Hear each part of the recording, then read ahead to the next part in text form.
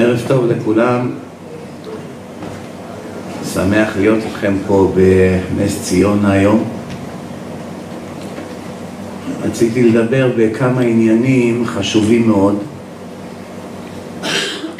התלבטתי במה להתחיל.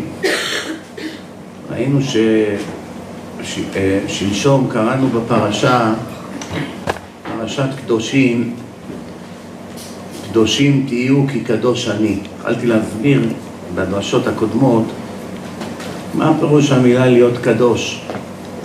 מה זה להיות קדוש? היום במונחים של היום יש הרבה בעלי תשובה שמפרשים את המילה קדוש ממש ממש לא נכון. מבחינתם להיות קדוש זה לעשות דברים חיצוניים. כלומר, ללבוש איזה ג'לביה, איזה תרבוש, לעשות, לגדל זקן ארוך, לעשות כל מיני פרצופים בזמן שהוא מתפלל, אה, כל מיני התבודדויות, כל מיני מקוואות, להיות פרוש בהרים, כל מיני דברים שהרבה אנשים אוהבים לעשות, שזה ממש ממש ממש לא שייך בכלל לקדושה. לא, אין בזה קדושה, זה לא קדושה. לעשות פרצופים או ללבוש כל מיני גלימות או כל מיני כובעים או להאריך זקן מאוד ארוך, הכל טוב ויפה, אבל להגיד שזה קדוש, ודאי שלא.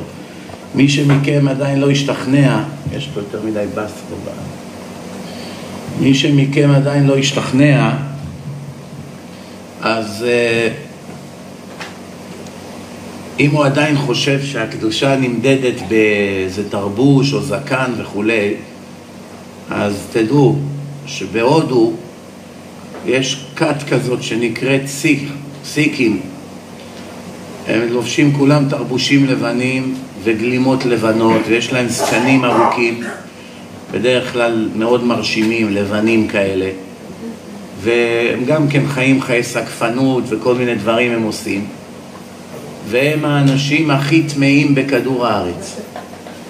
אין יותר טמאים מהם. אז אתם, רואים, אתם מבינים שהמראה הזה הוא לא מסמן בדיוק על קדושה. אף על פי שמסתכלים על, אה, על אה, תמונות מן העבר, כל מיני גדולי ישראל, יש הרבה שבאמת היו לבושים בתרבושים וגלימות וכאלה, אבל זה לא מה שעשה אותם קדוש, פה הטעות. לא הזקן עשה אותם קדוש, ולא הגלימה, ולא הכובע. הדבר שעושה את האדם קדוש זה היבדלות טוטלית מהגויים ומהתרבות שלהם. יש בעולם יהודים ויש בעולם גויים. יש יהודים צדיקים, יש יהודים רשעים. יש גויים רשעים, יש גויים צדיקים. הצדיקות אצל הגויים הם לא באותה קנה מידה כמו הצדיקים של היהודים, בגלל שלגויים אין תורה. אין להם דרך להתקדש כמו שליהודי יש. אבל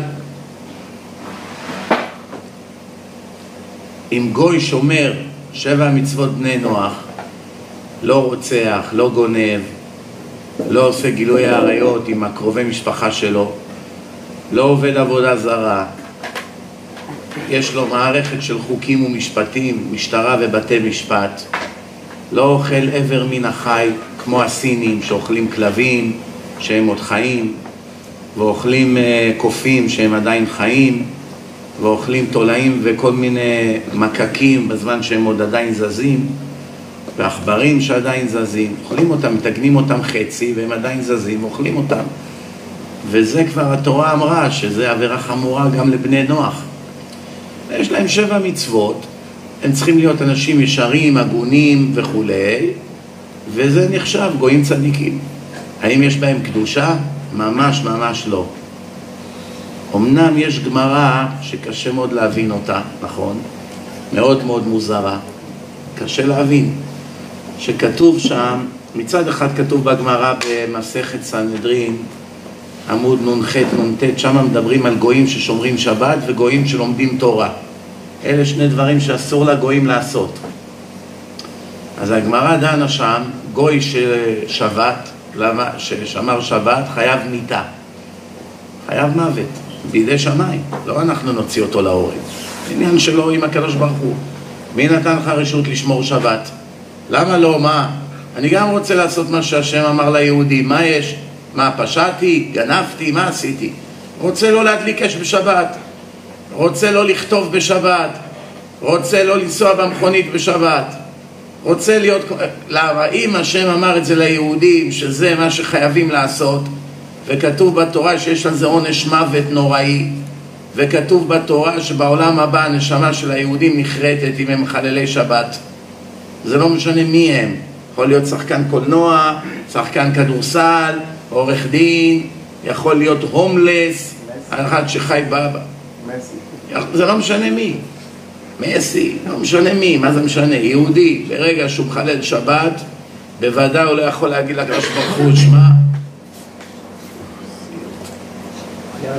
אה, משהו השתפר פה כבר, בסדר, תוריד רק את הבאס.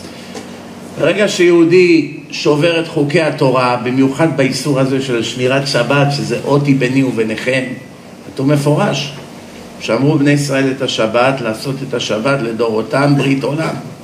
ביני ובין בני ישראל אות היא לעולם. אות היא לעולם. ומה כתוב? למה זה אות? כי ששת ימים עשה השם את השמיים ואת הארץ, וביום השביעי שבת ויהי נפש. זאת אומרת, לא בראתי שום דבר ביום השביעי, אתה חייב להיות כמוני, אתה בן שלי. בן הולך בדרך אביו. אתה חייב לפרסם לעולם מי אני, איך נברא העולם. שלא ידברו את השטויות האלה שהעולם נברא מפיצוץ ואין לעולם מנהיג, או כל מיני אבולוציות למיניהם, כל מיני שטויות של כל מיני כופרים שוטים שאין להם גרם של שכל, אף על פי שהם פרופסורים באוניברסיטאות הכי נחשבות בעולם, אין להם גרם של שכל.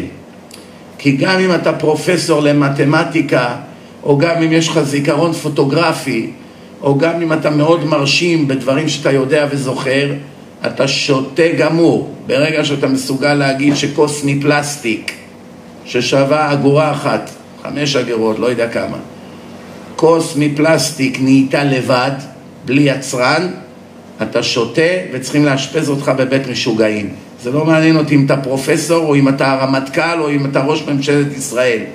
ברגע שאמרת כזה משפט, העולם נהיה לבד, היה סדרת פיצוצים ונהיה עולם, ונהיה מוח, והלב, וכבד, ומערכת עצבים, וורידים, ודם, הכל התחבר לבד, ובא למקום שלו, ו... ואם אחד היה זז מילימטר ימינה או שמאלה, האדם מיד היה מת. ושאדם יבוא ויגיד כזה דבר, ועוד עדיין יש לו תלמידים, זה רק מראה לך כמה המצב של העולם חמור. כי בעולם עם אנשים נורמליים, לפרופסור כזה לא היה תלמיד אחד בכיתה. בכלל, העולם הוא כולו שקר. אין דבר אחד בעולם שלא יתערבב בו שקר. אפילו בתורה, בצורה שלומדים היום, בישיבות, באיך שהדתיים מתנהגים, איך שהחרדים מתנהגים, בצניעות של אנשים, בין אדם לחברו, יש המון המון שקר. יש גאווה וכבוד ופוליטיקה ומה יצא לי מזה. הציבור מעדיף לשמוע דרשנים שלא מועילים כלום, שלא מזעזעים את האנשים לחזור בתשובה. הם בטחנים נחמדים, משעשעים, מספרים כל מיני סיפורים, אבל תכלס, בן אדם אחד בשנה לא מתחזק ולא נהיה שומר שבת. זה מה שהציבור מחפש. הציבור לא מחפש אחד שחותך בבשר החי ומציל לך את הנשמה. הציבור מחפש הרפתקאות, טיולים, טיולים לאוקראינה, טיולים לפה, טיולים לשם. תכלס, להפך ליהודי כשר, בן תורה, לעמול, לתקן את המידות, לעבוד על הצניעות, כל הדברים האלה שהתורה מחייבת, כמעט ואף אחד לא רוצה. ולכן רואים שבכל מקום ומקום השקר התפשט יש מקומות בודדים היום בעולם ששם כמעט ואין שקר. אבל גם במקומות הכי נחשבים, גם שם יש שקר, גם שם יש קנאה, גם שם יש ענייני כבוד. זה ודאי, רואים את זה, אנחנו לא עיוורים. זה חילונים רואים, אז, אז מי שקצת מבין תורה, אז מבין, רואה מה הולך פה. נחזור רגע לעניין. אז באמת, הגוי אומר, אני רוצה לשמור שבת. מה, אני רואה מה העונש של יהודי שלא שומר שבת, סימן שבורא עולם כועס על זה מאוד. אז אני גם רוצה לשמור. מה אומרת התורה? אסור לך. אתה לא יכול. התורה זה אות אי ביני וביניכם, ביני ולבין עם ישראל, ושמרו בני ישראל את השבת, רק בני ישראל. גוי מתחנן, יש לי אלפים כאלה, אלפים, לא מאות, אלפים של גויים, הרי אני מדבר באנגלית רוב הדרשות שלי, מכל העולם, מג'מייקה, מערב הסעודית, מדובאי, מפקיסטן, מהודו, מכל דרום אמריקה, אין מדינה שלא קיבלתי משם אימיילים, מפקיסטן, מחבלים של אל-קאידה שולחים לי אימיילים, זה לא יאומן, ברגע שאתה מדבר אנגלית וזה הולך ביוטיוב, זה הולך ל... אין לך על זה שליטה, זה מגיע לאנשים שאתה לא חלמת. והרבה מהגויים האלה אומרים, אני כבר שומר שבת, ואני צריך לשכנע אותם לא לשמור שבת. אסור לך. לא, מה פתאום? תדליק לפחות פעם אחת את האור.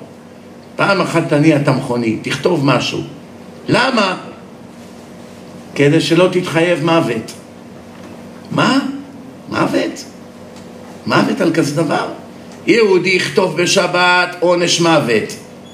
גוי מסרב לכתוב בשבת, עונש מוות. יהודי מדליק מכונית בשבת, עונש מוות. גוי מסרב להדליק מכונית, ילך שעתיים ברגל, בגלל ששבת היום, עונש מוות. עולם הפוך. בכלל, יש דבר אצל האדם שעובד מאוד טוב, זה נקרא פסיכולוגיה הפוכה. אתם יודעים מה זה פסיכולוגיה הפוכה? כשאתה בא אומר לבן שלך, קום פרזיט, בוא יש עבודה. לא, אני עייף, ישנתי מאוחר, אני לא מרגיש טוב.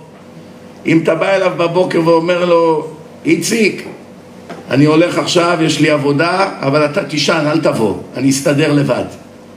לא, לא, אבא, רגע, רגע, חכה, אני קם. לא, לא, לא, תישן, תישן מותק, תישן. תישן. אתה גם לא אומר לו מה אתה חושב, רשעים ישנים, טוב להם, טוב לעולם. ככה כתוב, תישן מותק. איך אני יודע? יש לי איזה בן אחד שמנמן. היום הוא שמנמן, פעם היה שמן. אז uh, עשיתי איתו הסכם. אמרתי איתו, אני אתן לך סכום כסף יפה מאוד, אם תגיע למשקל זה וזה, תוך שלושה חודשים. עכשיו אני רואה, הוא משקיע, אין יותר טוסטים, פיצות, אוכל, חותך סלטים, טונה בלי שמן. התחלתי להילחץ. אמרתי לו, אלי מותק, בוא, בוא תאכל, תראה איזה טעים זה. לא, לא, לא, לא, לא, תאכל מותק, תאכל. חשבתי זה יעזור, אני אפתה אותו, מביא לו כל מיני מטעמים. כמה שאני אומר לו יותר תאכל, הוא יותר מתנזר מאוכל. קודם כל, בסיבוב הקודם, הייתי אומר לו, כמה אתה אוכל? כל היום מבלע ככה. הכל הפוך אצל האנשים. היה לי פעם דרשה בברוקלין, יש איזה משגיח כשרות אחד, ניסים, בברוקלין. אומר לי, כבוד הרב, אני צריך שתדבר עם, ה... עם איזה אחד, ז'אן. ז'אן, מי זה ז'אן? שף צרפתי במסעדה במנהטן. מה לדבר איתו? הוא לא שומר מצוות, תבוא תדבר איתו. אני אומר לו, תשמע, אני יש לי דרשה, עד שזה ייגמר יהיה 11, ועד שאני אסיים שם יהיה 12. לא חשוב, תבוא אחרי זה. אני אומר לו, הוא לא יהיה ישן? לא, לא, הוא יודע, הוא מחכה לך. באתי לשם, אני רואה שני בחורים. הז'אן הזה בן 40, והיה איתו עוד בחור ישראלי, אם אני זוכר, קראו לו איציק. והוא בן 25. שניהם גרים בדירה בברוקלין, שותפים לדירה, רווקים. התחלתי לדבר עם הז'אן הזה, כל רגע אומר לי, שייקח אותי, שיהרוג אותי, מי רוצה בכלל לחיות? מראה לי חורים בקיר, באמריקה הקירות זה מגבס. אתה נותן אגרוף לקיר, נהיה חור. אז אני רואה חורים בקיר, כל מיני שברים, סדקים. אז אה, אני, אני אומר לי, אתה רואה? זה עשיתי אתמול עם הראש. אתה רואה? זה ככה, זה ככה. אמרתי, יש לי פה פסיכופת. כל מה שאני מדבר איתו על הדת, שייקח אותי, אם אני כזה רשע, למה הוא משאיר אותי חי? אני כל היום מבשל שרימס, מבשל חזיר, באים לי יהודים למסעדה. אם זה מפריע לו, למה לא הרג אותי? שיהרוג אותי, שאני לא אקום בבוקר, כל מיני שטויות. אמרתי, מה, איך אני עכשיו גורם לאדם כזה להשתנות? התחלתי לדבר עם הצעיר. ראיתי הצעיר מביע יותר עניין, הוא גם יותר נורמלי. התחלתי לדבר עם הצעיר, עשרים דקות שיחה, הסכים לבוא לישיבה לשבוע. זה הצרפתי ראה ככה, נכנס ללחץ. מה, עכשיו יפסיד את השותף שלו? מי ישלם חצי מהרנט, מהשכירות? פתאום התחיל להילחץ, מה, מה, תעזוב אותי! אומר, תראה לי מבצע צרפתי כבד, אתה תעזוב אותי! אומר, לא, לא, אל תדאג, אני רק הולך לשבוע, ואני בלב שלי אומר, yeah, right, שבוע. אז מי שבא כבר לישיבה, צריך בכוח לדחוף אותו החוצה. נשאר. אז ההוא, איך אומרים, ראה את הנולד, התחיל להילחץ. מה, אתה לא, אתה לא נאמן, אתה לא זה, אני לא הייתי עושה לך כזה דבר. בסוף היה איזה קטע שכבר לא יכולתי יותר לסבול אותו, אז אמרתי לו, אתה אין לך בעיה, אתה פטור ממצוות. אתה יכול לעשות מה שאתה רוצה. אומר לי, מה? אני אומר לו, כתוב, שותה פטור ממצוות. אחד שהוא לא נורמלי, פטור ממצוות. אז הוא התחיל לצחוק, הוא לא ידע מה פירוש המילה שותה. בכל זאת, הוא צרפתי, הוא לא יודע עברית מאה אחוז. אז הוא צחק, אני פטור ממצוות. אז האיציק הזה אומר לו, יא טמבל, הוא אומר שאתה שותה, אהבל. מאותו שנייה, פניו הרצינו, נהיה רציני. התחיל לקלל אותי, מה זה קללות? לא רוצה אפילו לרמוז עליהן. במגרשי כדורגל אין כאלה קללות, לאימא של השופט אפילו. איזה קללות, תסתלק מבית שלי, יהיה כך וכך, תסתלק. והניסים הזה עומד לקבל התקף לב. כאילו הוא הביא אותי להחזיר אותו בתשובה. אומר לי, איך עשית כזה דבר? אני לא מאמין, מה? אומר לו, ניסים, אתה תראה שהבן אדם הזה עכשיו יחזור בתשובה. אין סיכוי, מה? אני אומר לו, אתה לא מבין. זה הכל הפוך ממה שזה עובד.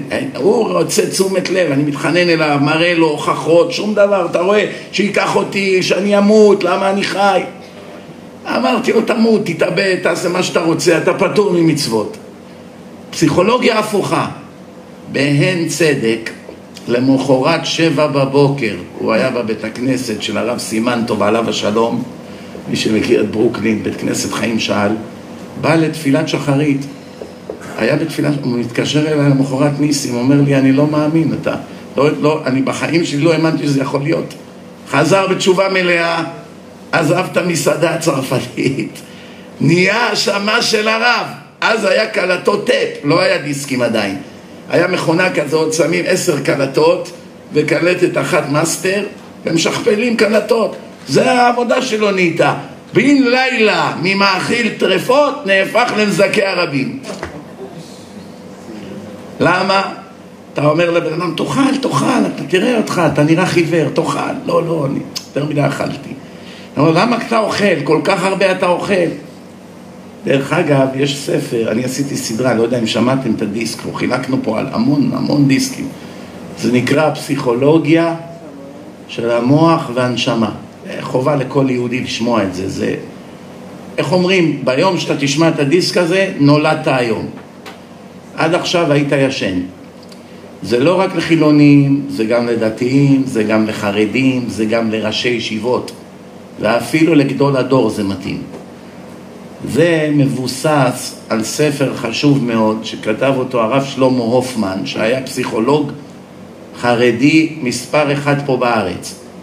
מרוב שהוא היה חזק, הפסיכולוג הזה, מילה שלו לשופטי בתי המשפט פה בישראל, שהם חילונים כולם, שופטים, מילה אחת שלו, או מכתב אחד שלו, השופט מיד היה משחרר את האסיר על התנהגות טובה. ואם הוא היה כותב, אני לא ממליץ לשחררו, אין סיכוי שהוא ישתחרר. השופטים, יש ציטוטים בספר ממשפטים שהיו. השופט אמר, מה הופמן אומר? הופמן אומר לשחרר בתנאים כאלה וכאלה, משוחרר. מה הופמן אומר? אני צריך להיפגש עם האסיר עוד פעם, אין שחרור. אני רוצה חוות דעת מהופמן. ככה השופטים היו עושים, מדהים. היה מקרה שהיה איזה מרוקאי אחד שבא בעליית נוער, בא ממרוקו, הוא היה בן 16 בערך, שהביא אותו ממרוקו לכאן, וההורים שלו במרוקו נשארו דתיים. והוא הגיע לכאן ומיד התקלקל. נהיה מחלל שבת, התחיל להיות גנב, פורץ לדירות, למכוניות, גונב דברים, מזה הוא חי. ברח מה... מה, מה איפה ששמו אותו, באיזה אכסניה, קיבוץ, לא יודע איפה זה היה. תפסו אותו משטרה, מאסר, עוד פעם מאסר, נכנס, יוצא, בקיצור עבריין. עכשיו הוא יושב במאסר כמה שנים, קיבל כמה שנים בית סוהר, כבר יש לו עבר עשיר. מגיע עכשיו הופמן, הרב הופמן, להיפגש איתו כדי לשחררו על התנהגות טובה. אבל אומר לו, תשמע, אני רוצה שתשתחרר, אבל ביני לבינך. מה התועלת בזה שתשתחרר? הרי אתה מיד תחזור לפרוץ בתים ומכוניות. אולי עדיף שתשאר פה.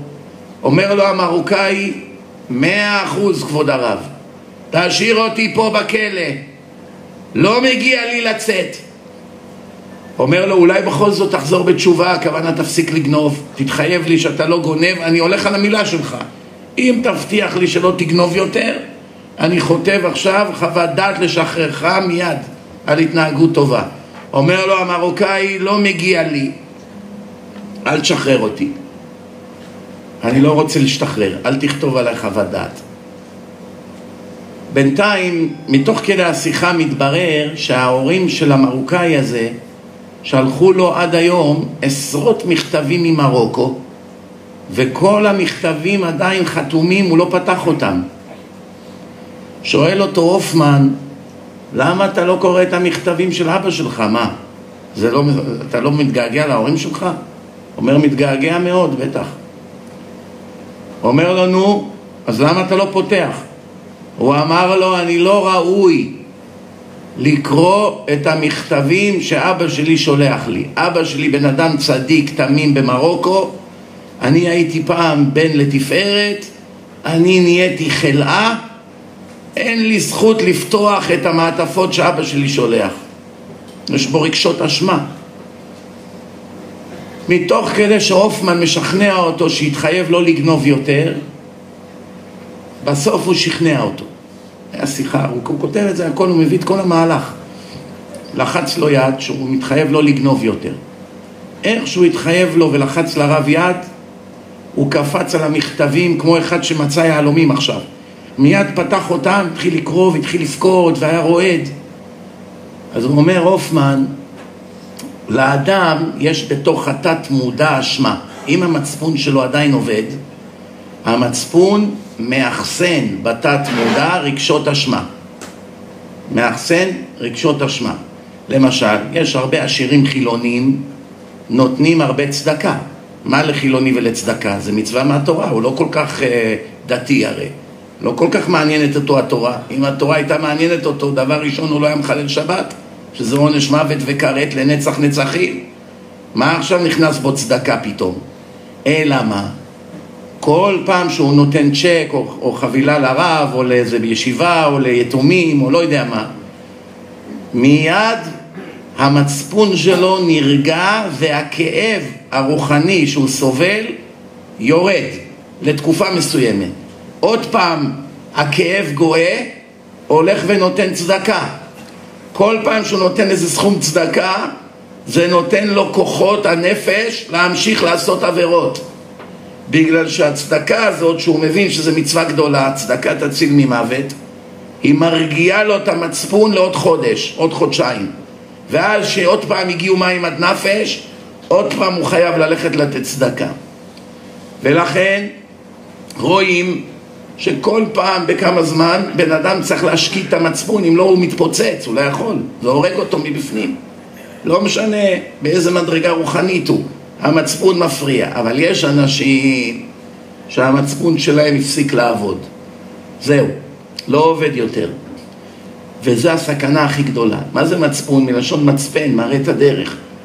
המצפון תמיד צועק לך מבפנים, זה כמו איזה גמד שיושב לך בתוך המוח, וכל פעם שאתה עושה משהו לא בסדר, הוא צועק לך, צבוע, תראה איזה צבוע אתה, אתה אומר לבן אדם הזה כך וכך, אתה בעצמך ככה.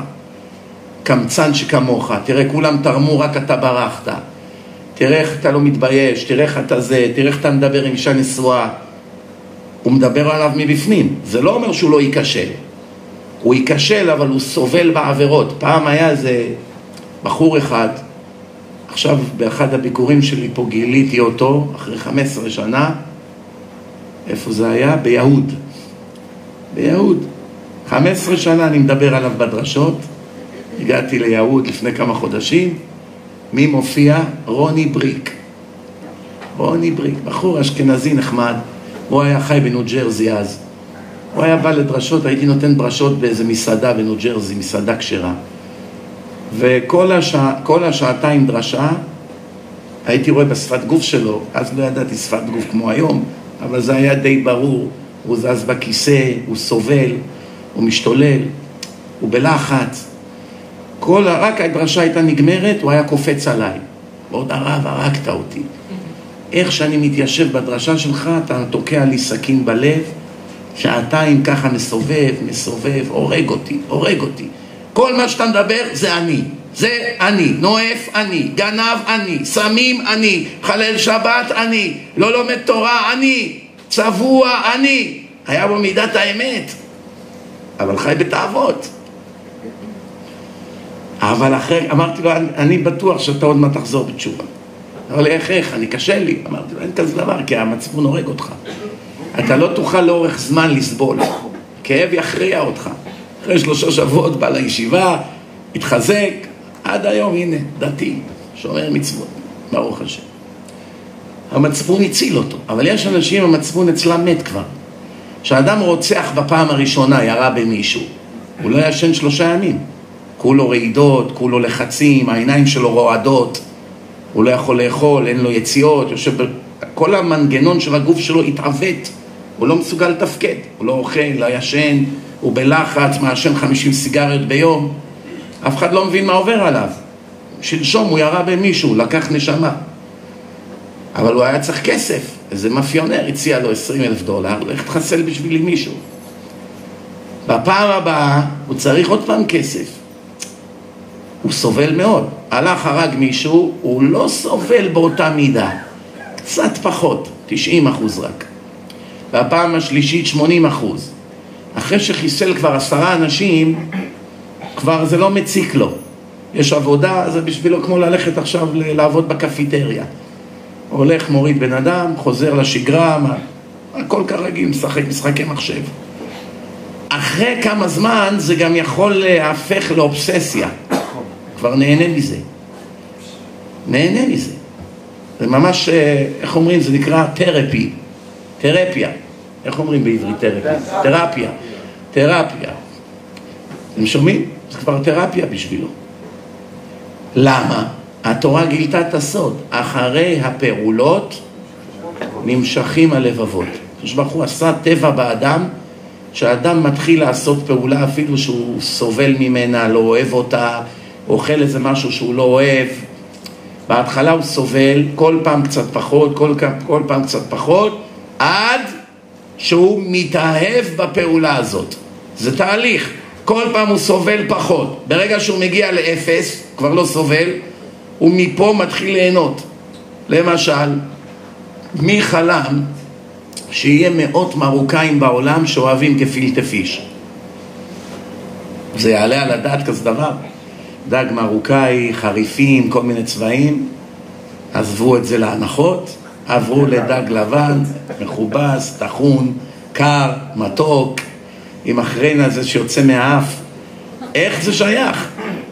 תשובה, ההורים שלהם ממרוקו שלחו אותם לאנגליה ללמוד בישיבה אשכנזית, גייטסט, בגייטסט, זה עיר באנגליה, ישיבה אשכנזית. הבינו שבמרוקו אין ישיבות ברמה כמו שם, סע לאנגליה, למד שם חמש-שש שנים באנגליה, כל האנשים שם אשכנזים גפילטה פיש זה אהבת חייהם. אז פעם ראשונה הוא סגר את האף, פעם שנייה, פעם שלישית, הוא אוכל לשם שמיים, זה מצווה לאכול דג בשבת, ואין משהו אחר, זה זה. בהתחלה שם על זה הרבה מלח, הביא שחוק מהבית, לא יודע מה. אבל אחרי כמה זמן, תראה את המרוקאים באמריקה, אלה שלמדו באנגליה, בסמינרים, איך ישר הם רצים לגפילטה פיש. שאלתי אחד מהם, How can it be? אומר לי, באמת, how can it be? מה אני אעשה? הייתי בגייטסייד, חמש שנים, רק גפילטה פיש. עכשיו אני אומר לו, אבל יש כאן דג מרוקאי. מילא היית אנוס, בסדר. לא, it's delicious. הוא לא יכול לחזור לדג המרוקאי. למה? התרגל לגפילטה פיש. זה המציאות, רבותיי. אני יכול להביא לכם ראייה, מחילה מכבודכם. אני מכיר איזה אחד, היה חולה נשים. חילוני, חולה נשים, בליין, אז היה קוליסאום, קולנוע דן, לא יודע אם המועדונים האלה עוד קיימים עדיין. כל לילה מקום אחר היה. אחרי זה הוא התחתן, נולדו לו ילדים, המשיך לעשות כל מיני דברים לא, לא צנועים עם נשים. יום אחד הכניסו אותו לבית סוהר להרבה שנים. עשה איזה משהו, בית סוהר קיבל. היה הרבה שנים במאסר, בגיל 40 ומשהו יצא מן המאסר. יצא מן המאסר גיי. למה? בבית סוהר לא היה לו נשים, לא היה קוליסאום, כן, כל הדברים האלה. היה שם עם איזה אחמד אחד. אז עכשיו אין ברירה, התאוות שלו הכריעו אותו. לאט לאט הוא נגאל בהתחלה, עוד פעם ועוד פעם ועוד פעם. טוב, עכשיו עברו עשרים שנה, יצאת לחופש, תרוץ לתאוות הרגילות שלך. לא, חיים גבר. עד היום הזה. הוא לא חזר לנשים יותר. למה? אפילו הפעולה הכי מתועבת בעולם, בן אדם שעושה אותה באילוץ, סופו להתרגל אליה. מתרגל ומתחיל גם לאהוב את זה בסוף. והרב הופמן מביא בספרו, הוא שואל שאלה, למה התורה אומרת לעם ישראל לא להסתכל על העבודה זרה של בעל פאור? מי שמכם לא יודע מה זה בעל פאור, נתאר את זה בשנייה. הגויים היה להם איזה מין פסל כזה גדול, והם היו מביאים לו מתנה. מה המתנה? את הצרכים שהם היו עושים. היו עושים צרכים בקופסה, ומביאים את זה לאליל שלהם. זאת אומרת, היה שם סירחון נורא, זה דבר אחד המתועבים ביותר שאפשר לדמיין, והתורה מזהירה את עם ישראל שאסור להסתכל בסוג הזה של העבודה זרה. שואל הרב הופמן, מה, אני מטומטם? אני צריך שהקדוש ברוך הוא יגיד לי בתורה לא להסתכל על האידיוטים האלה? אלה חולי נפש אלה, מה הם? מה אתה צריך להגיד לי? התורה אומרת לי לא לאכול דם. לא לאכול דם. מי איזה נורמלי אוכל דם? תאר לך עכשיו אחד בא לקיוסק, תן לי כוס של דם. דם של פרה, דם של כבשה, לא יודע מה. שותה את זה ככה. זה אנשים לא נורמליים. אבל אתה רואה בתורה שהתורה אומרת לך, תזהר לא לאכול דם. למה? הגויים כן אוכלים דם, אתה רואה שכן. ומה, אוכלים תולעים, אדם ככה בסין, אוכלים ג'וקים, תולעים, עכברים, חיים. הדם שלהם חי בתוך הפה שלהם. קונים את זה במשקל, בא אחד עם אופניים עם חבית, בעיניים שלי ראיתי את זה, בסרטון. פותחים את המכסה של החבית, מלא עקרבים, ג'וקים כאלה, ממלא לו בכוס, משלם לו, שופך את זה לתוך הפה, והם ככה, הוא מוציא את השניים האלה מה, מה, מהפה ככה, ברח לו. אה, איך קוראים לשני חיישנים האלה? ואוכל את זה הסיני, ואתה רואה, צריך גועל נפש. יפנים, יפנים, אלה שהמציאו את המצלמה הזאת, את המיקרופון, את המחשב, טויוטה, יפנים, טומטמים הם לא, נכון? יש להם קצת שכל. מה עושים היפנים? מה המעדן הכי גדול אצל היפנים? מי יודע?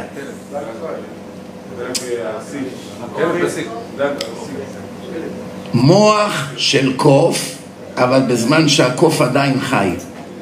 תופסים את הקוף, קושרים לו את הידיים עם חבלים לשני עצים, אחד מימין, אחד משמאל, קושרים לו גם את השני רגליים שלא יוכל להתפרע, לוקחים סכין יפנית, פותחים לו את כל הקרקפת, מרימים את השיער מלמעלה והמוח מתגלה. ויושבים עם חליפות ועניבות עם כפית ואוכלים את המוח שלו כי זה דבר רך, ככה, בזמן שהוא גוסס אלה המציאו את המצלמות ואת המכוניות הכי טובות בעולם פעם היה לי חבר כבר לא בקשר איתו הרבה שנים, הייתה לו במנו, במנהטן, הוא היה גר, הייתה לו חברה יפנית. מסרתי עליו נפש שלא התחתן עם הגויה הזאת, זה כבר היה עניין רציני. מה לא עשיתי כדי שהוא יעזוב אותה? ניסיתי לסכסך ביניהם בכל דרך, לא עזר כלום. ביום שנודע לי שהיפנים אוהבים לאכול ככה קופים, באתי, אמרתי לה, אתה לא מתבייש אם זאת תהיה האימא של הילדים שלך? שמע את זה, קיבל חלחלה, מיד עזב אותה. אבל מה נעשה שכתוב בתורה שמי שהולך עם גויה, מה הדין? כשהוא ראה בו ככלב. כלב לא עוזב אותך מהר. איפה שתלך, אתה הבא לבית, הוא רץ אחריך. אני, משפחה שלי חזרו בתשובה, היה להם כלב קטן, שחור, מטולטל, קראו לו בילי. מעניין, בארץ כל הכלבים יש להם שמות אמריקאים. שמתם לב? בילי, ג'וני, כל מיני שמות. קיצור, הבילי הזה, הם חזרו בתשובה, עברו לגור בירושלים. שכונת הבוכרים, שם כולם חרדים, אף אחד אין לו כלב שם. חרדים סולדים מכלבים. כלב זה החיה הכי טמאה בכל העולם, יותר מחזיר. הארץ פה מלאה בכלבים. זה דרך אגב לא פלא, כשאני הייתי חי פה בארץ כמעט ולא היו כלבים, בקושי היו כלבים. עכשיו אני מסתובב ברחובות פה, כל בן אדם ברחוב הולך עם כלב ביד. מדהים מה שקורה פה. נביחות כל היום וכל הלילה מהשכנים. לא סתם הארץ התמלאה בכלבים, זה מסר משמיים. כשאדם קשור לכלב בצורה כזאת וכל כך אוהב אותו, זה מראה מה הרמה הרוחנית של האדם הזה, שהיא בשפל של השפל. מה זה כלב? למה כלב זה בהמה הכי טמאה? מתגלגלים בו הרשעים הכי גדולים. אנשים שמקבלים גלגול בבעלי חיים, נפטרו מן העולם, הקדוש ברוך הוא מגלגל את הנשמה שלהם בבעלי חיים, הגלגולים של הרשעים הכי גדולים זה בכלבים. אבל למה כלב זה בהמה כל כך, איך יודעים שכלב זה חיה כל כך טמאה? איך? הרי כלב הוא נאמן לאדם, הוא מוכן למות בשבילך, הוא שומר לך על הווילה. כלב זה יצור עז פנים, חצוף. מה פירוש? אם עכשיו אתה בא לחזיר, חזיר זה בהמה טמאה, חיה טמאה, הכנסת לחזיר בעיטה לראש, חזיר ענק, אם הוא נופל עליך אתה נמעך, הכנסת לו בעיטה לראש, מה החזיר עושה? הולך בוכה בפינה מהכאבים, הוא לא מתקיף אותך. באת נתת לפרה סטירה, שום דבר. כל חיה שאתה תוקף, חיות הביתיות, אף אחד לא תעשה לך שום דבר. כלב, אתה רק הולך לידו. הוא עכשיו באיזה וילה, יש גדר, רק הלכת במדרכה, קופץ על הגדר, חושף את שיניו, אה, רוצה לרצוח אותך בדם קר, אה, אה, מה עשיתי לך? שב בשקט, עכשיו, איך יודעים שכלב זה חיה טמאה? מה, אתה ממציא דברים, כבוד הרב? נו די, דחילק. הרסת לנו את החיים. יש איזו אישה אמריקאית, ראיתי אותה באחד הדרשות, כל הדרשה היא בוכה. אני אומר לה, למה בכית בדרשה? היא אומרת, אתה דיברת על כלבים, עכשיו אני צריכה להתפטר מהכלבה שלי. אז היא בוכה כבר מעכשיו על זה שהיא צריכה עכשיו להתפטר מהכלבה, כן. שזה לא ברכה בבית, חז"ל כותבים. לא לגדל כלב רע בביתו, טוב. כתוב בתורה, כל דבר שאתה מוכר, אתה יכול להביא את הכסף תרומה לבית המקדש.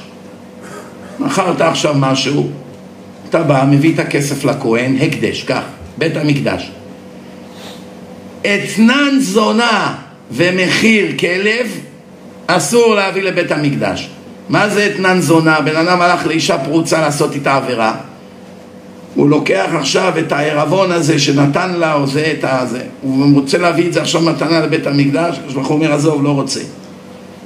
ומכר את הכלב שלו, הכוונה החליף כלב בטלה.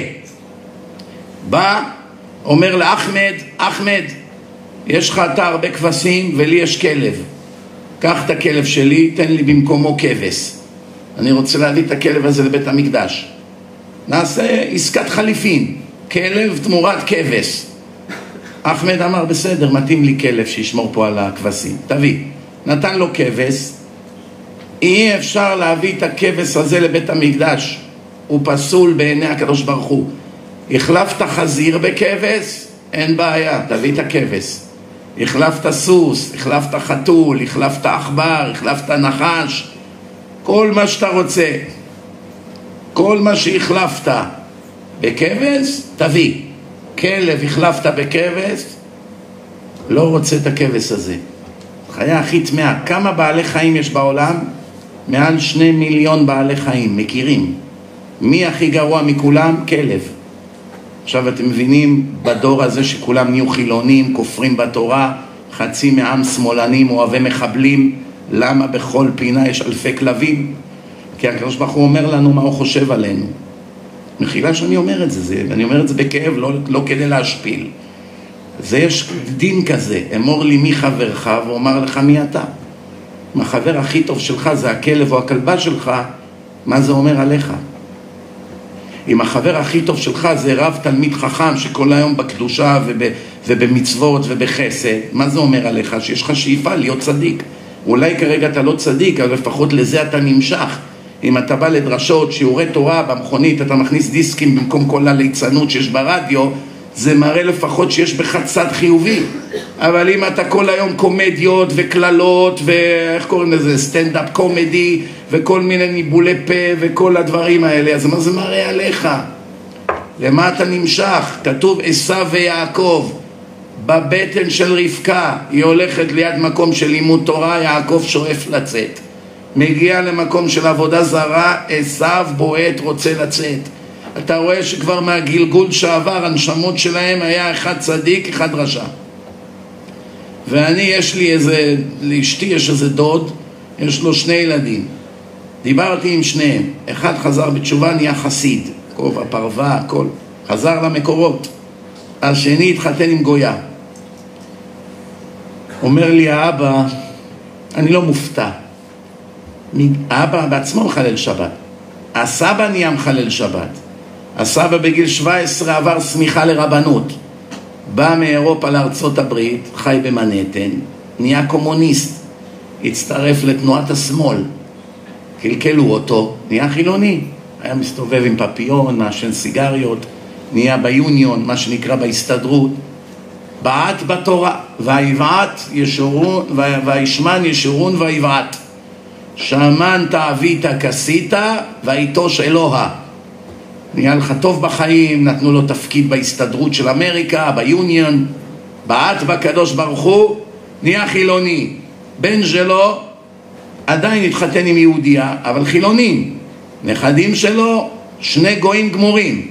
נפלתי עליהם, אחד נהיה חסיד, השני המשיך בדרכו ונהיה, נשאר איכשהו והתחתן עם גויה. אומר לי האבא, אני לא מופתע. מגיל צעיר, שעוד היינו הולכים לבית הכנסת, זה היה יושב, נהנה, מסתכל, חי בתפילה.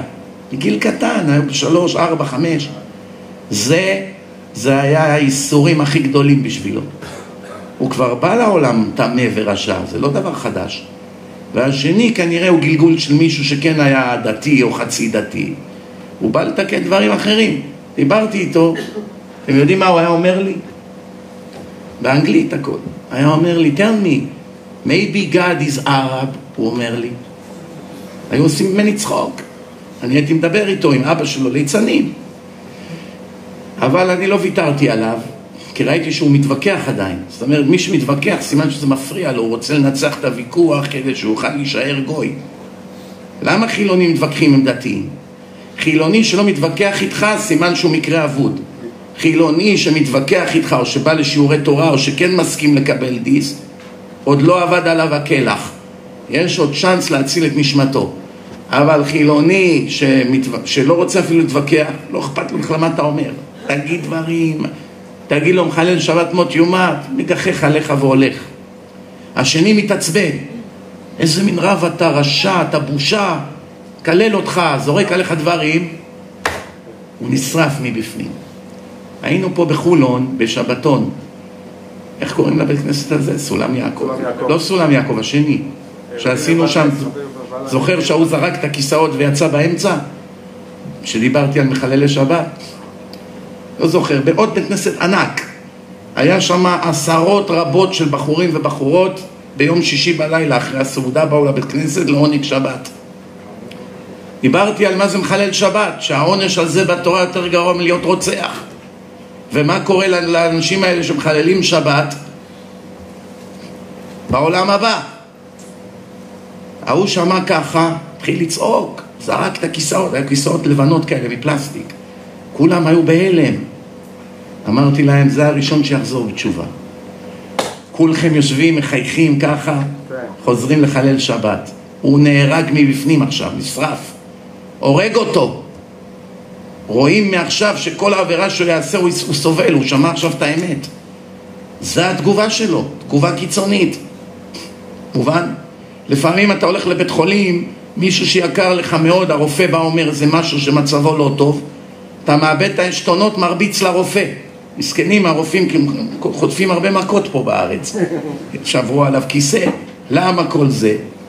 כי כואב לבן אדם, אז הוא לא יודע איך להביע את הכאב שלו. שומעים, עכשיו היינו בשבתון בעפולה, היו שם כמה כדורגלנים מהפועל עפולה. מסתבר שהם כבר כמעט עלו לליגה הראשונה, לא יודע. לא ידעתי. אז היה שם איזה אחד שאמר לי, הבן דודה שלי הוא מעפולה, אומר לי, שנה הבאה הוא במכבי נתניה. קנו אותו, כוכב רציני כנראה. עכשיו הוא יהיה כוכב בליגה. אמרתי להם, נו, איך זה מסתדר כדורגל ושבת? אומר לי, כל הפועל עפולה שומרים שבת. לא משחקים אף פעם בשבת. אין. לא משחקי בית, לא משחקי חוץ. אמרתי לו, איך זה מסתדר? אומר לי, אנחנו לא משחקים. ואמרתי לו, ואם יכריחו אתכם, אומר, כולנו הולכים ישנים במלון בלילה שלפני ונלך ברגל. כי לשחק עצמו בכדור בתוך האצטדיון זה לא חילול שבת. לא כבוד גדול לשבת, אבל אין כאן הדלקת אש או כתיבה או קצירה או הדברים שאסורים בשבת. אני פעם דיברתי עם כדורגלן נבחרת ישראל שעתיים, מוטי קקון, בזמן שהוא היה כוכב מספר אחד פה בארץ. הוא בא לחתונה שלו בניו יורק, אחיו כבר חזר בתשובה כמה שנים קודם, היה בישיבה אצלנו. הוא בא לחתונה, אמר לי, אחיו, שעתיים מזמנך אתה חייב לשבת עם אחי.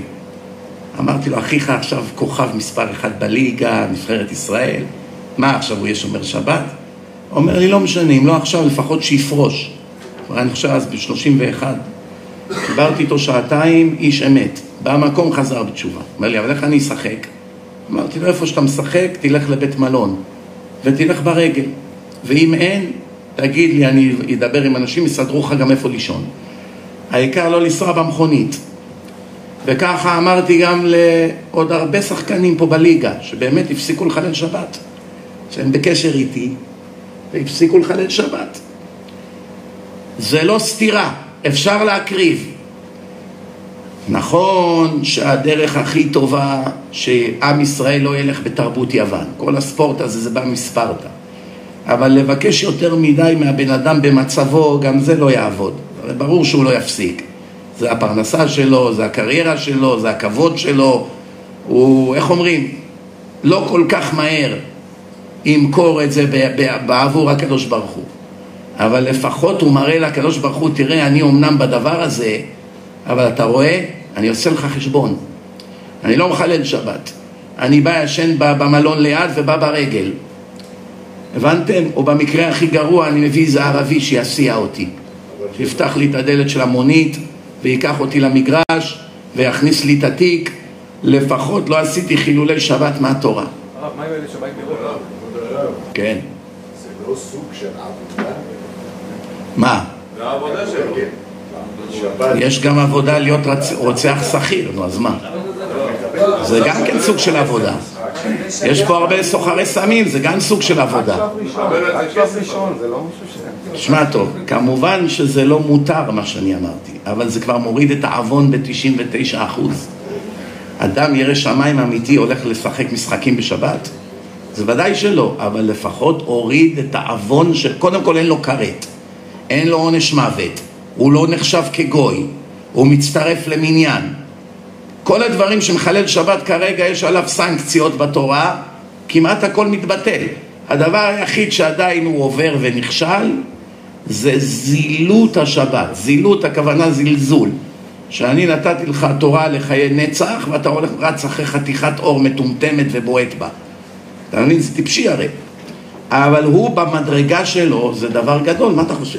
הקדוש ברוך הוא דן את האדם, גם כשהוא עושה דברים לא טובים, הוא דן אותו משני הכיוונים. זאת אומרת, הוא יכל לעשות הרבה יותר גרוע, אבל הוא התאמץ במשהו. למשל, אני מכיר חילונים בניו יורק, הם לא אוכלים כשר, אבל הם הולכים למסעדה, הם מקפידים שלא יהיה חלב ובשר, ולא יהיה שרימפס, ולא יהיה חזיר. אבל הם אוכלים עוף ובקר שהן טרפות לגמרי, או נבלות, שגם זה עבירה. אבל אפילו בתוך העבירה, הם אומרים לקדוש ברוך הוא, אני לא לגמרי מצפצף עליך. ומה אתה חושב? זה גם יעזור להם ביום הדין. נכון שהם עדיין עוברים עבירות ועל כל עבירה צריכים לשלם, אין חוכמות. אבל זה יקל עליהם ביום הדין, כי הוא מראה לקדוש ברוך הוא, אתה רואה, אני לא, זה לא שאני מתעלם ממך, אני בעל תאוות, נכשלתי. אבל עשיתי לך חשבון. נחזור לעניין. התחלתי להסביר שגויים ששומרים שבת וגויים שלומדים תורה חייב מיתה. כי התורה ניתנה רק לעם ישראל והשבת ניתנה רק לעם ישראל. ולכן הגויים שעושים את זה מתחייבים בנפשם, אסור להם לעשות את זה, צריכים להיזהר מאוד. ואילו אצלנו פה אתם רואים מלח... מלחמה על כל נשמה, כמה קשה, כמה יש מלחמה פה, כמה יש נגד הרבנים, נגד התורה, כל האינטרנט מלא בנאצות, בגידופים, בכל מיני כפירה, דברי כפירה. יש אנשים כבר חזרו בתשובה שנה, שנתיים, פתאום שולחים להם כל מיני דברי כפירה, אין להם הרבה חוכמה. הם מיד מתרסקים. למה הם מתרסקים? כי גם ככה קשה להם עם התאוות, והם לא הלכו אף פעם ללמוד תורה ברצינות. פתאום בא איזה ליצן כופר, נותן להם כל מיני קושיות, מיד הם נופלים, חוזרים לסורם. למה? כי הם אף פעם לא בנו לעצמם בסיס. אם הם היו בונים לעצמם בסיס, אה, אני למשל, יבוא כופר, הוא יכול לערער את האמונה שלי?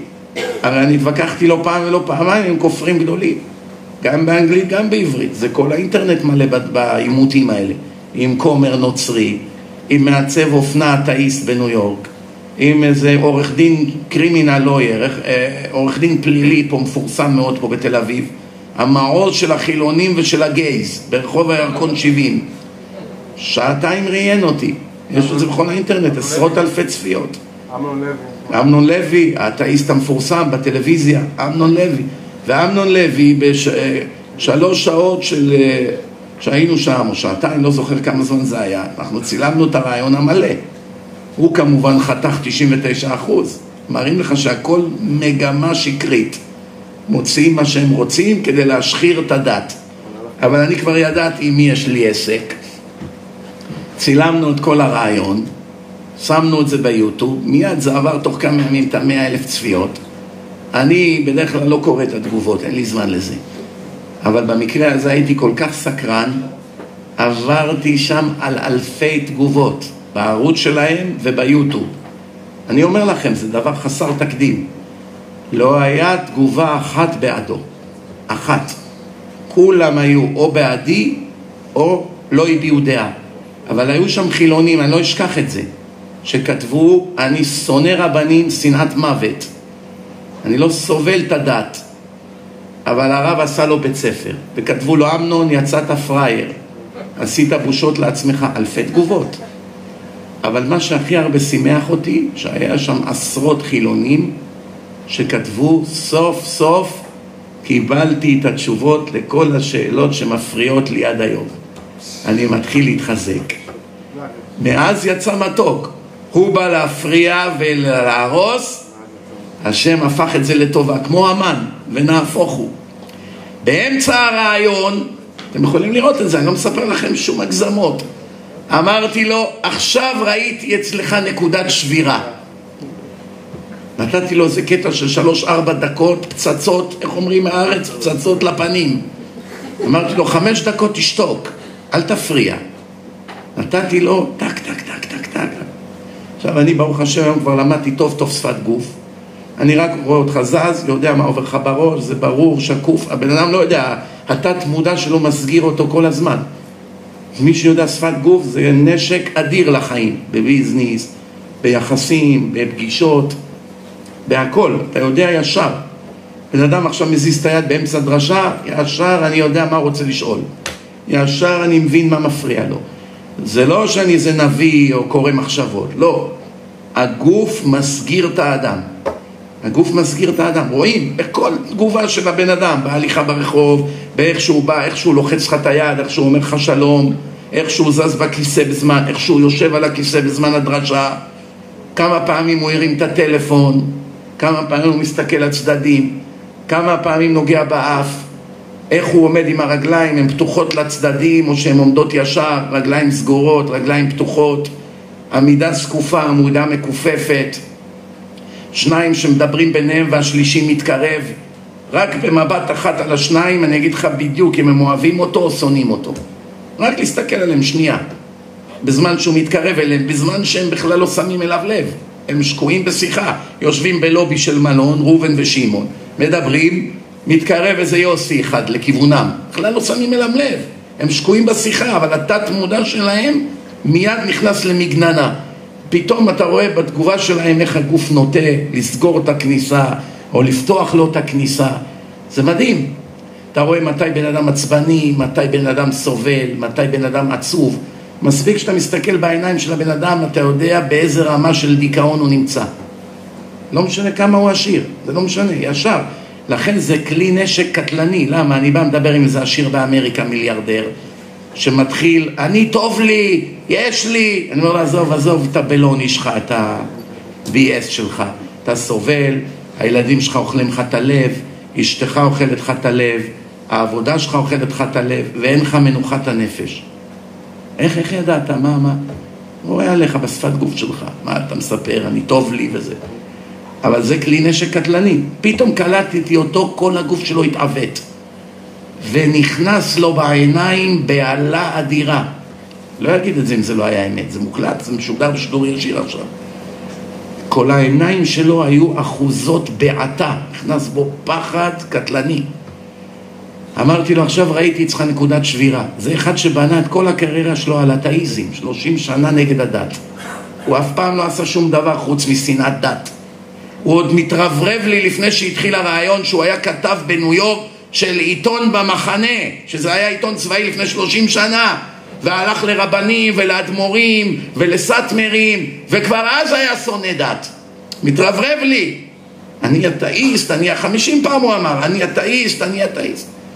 תוך כדי הרעיון והוויכוחים, אמרתי לו, עכשיו ראיתי אצלך נקודת שבירה. מסתכל עליי בעיניים, אומר לי, נכון, אתה צודק, איך ידעת? אמרתי לו, אני ראיתי בשפת גוף שלך. מה קרה יומיים אחרי הרעיון? תפסו אותו, עומד בקבר של הצדיק מיבניאל, קורא תהילים עם כיפה לבנה על הראש. האתאיסט הכי גדול בתולדות המדינה, שכל הקריירה שלו זה אתאיזם, עמד בקבר של הצדיק מיבניאל, שמנו את זה בפייסבוק שלי, אי אפשר להכחיש. תמונה שלו עומד עם תהילים וקורא תהילים. אתם יודעים מה זה? תאר לך עכשיו, תאר לך עכשיו, אתה תופס אחד כמו השמאלנים האלה, איך קוראים להם? כל אלה בממשלה, הבוגדים. עומד, רואה אותו עם כיפה ותהילים ליד קבר של הרב עובדיה. זה, זה רעידת אדמה פוליטית פה. רעידת אדמה. טוב, עד עכשיו זו הייתה הקדמה, עכשיו אני מתחיל את הדרשה בעזרת השם, ברשותכם. אני רציתי לדבר היום על השנאת חינם שיש פה בעם. שנאת חינם. מה הם הסממנים של שנאת חינם? מי יודע? במה זה מתבטא? שנאת חינם פה בעם. דבר ראשון, פירוד בין העדות. העדה הזאת לא אוהבת את העדה הזאת, וזאת לא רוצה את זאת, וזה ככה, ואתה רוסי, ואתה אתיופי, ואתה מרוקאי, ואתה פרסי, ואתה תימני, ואתה אשכנזי. כשאין אחדות בעם, משלמים מחיר כבד. תראו, הערבים, יש אצלם יותר חוסר אחדות מאיתנו, למזלנו. זאת אומרת, איך אומרים? זה נבלה וזה טרפה. אנחנו, השם ירחם, על הפנים, אבל הערבים פי עשר יותר על הפנים. אצלם, השנאה ביניהם היא מגיעה לרצח ולשפיכות דמים יומיומית. הורגים אחד את השני כבר עשרות שנים בלי הפסקה. טובחים אחד בשני, הורגים את האחים ואת הדודים שלהם. למזלנו, הדת הטיפשית שלהם התחלקה לשני מחלקות, שיעים וסונים. הקדוש ברוך הוא עשה את זה שעל איזה סוגיה טיפשית מאוד בדת שכולה שקר במילא הם הורגים אחד את השני כבר 1400 שנה אלה מאמינים בעלי ואלה לא מאמינים בעלי אתם מבינים מה קרה פה עכשיו? הורגים אחד את השני כבר 1400 שנה ואיראן במלחמה עם כל הערבים אף על פי שהם הולכים על, על אותו קוראן גם כן בגלל השטות הזאת וגם הטורקים, וגם בתוך המדינות שלהם. הן נחלקות לשני מחלקות, לבנון, סוריה, כולם הורגים את כולם. כולם שונאים את כולם, וזה המזל שלנו. אם היה ביניהם יום אחד אחדות לאומית של כל הערבים במזרח התיכון, ליום אחד. שימו את המחלוקות בצד, בואו נתאחד כולנו נגד האויב הציוני. זה היה הסוף שלנו. לא היה עוזר לנו כלום, כי נגד אחדות של הרשעים אין תקומה אפילו לצדיקים. קל וחומר שאנחנו רחוקים מלהיות צדיקים. הגמרא מביאה דוגמה מאחאב, עובד אלילים, רשע, רוצח. מלך ישראל, אשתו איזבל, כשמה כן הוא. אחאב ואיזבל. הלכו, גנבו שדה לאיזה צדיק, ואחר כך רצחו אותו, והוא היה בזמנו עבודה זרה, אבל מה? היה בין כל הרשעים אחדות. היו יוצאים למלחמה, עובדי אלילים, מורדים בקדוש ברוך הוא, אבל היה ביניהם אהבה, אחדות, אוהבים אחד את השני, התאחדו כל שונאי הדת, מנצחים במלחמות, מלכים צדיקים מוסרים נפש לקדוש ברוך הוא לא היה בצבא שלהם אחדות, מפסידים במלחמות. כמה זה חשוב אחדות. אם הערבים היו מתאחדים יום אחד, יום אחד באחדות, כל מה שעליהם היה לעשות זה לצעוד לעבר ישראל בלי נשק, עם דגלים לבנים. באנו לעשות איתכם שלום אל יהוד. זהו, ככה. צועקים לרשתות הטלוויזיה, מביאים תינוקות, ילדים, נשים, ככה עושים יד אחת, מיליארד וחצי מוסלמים.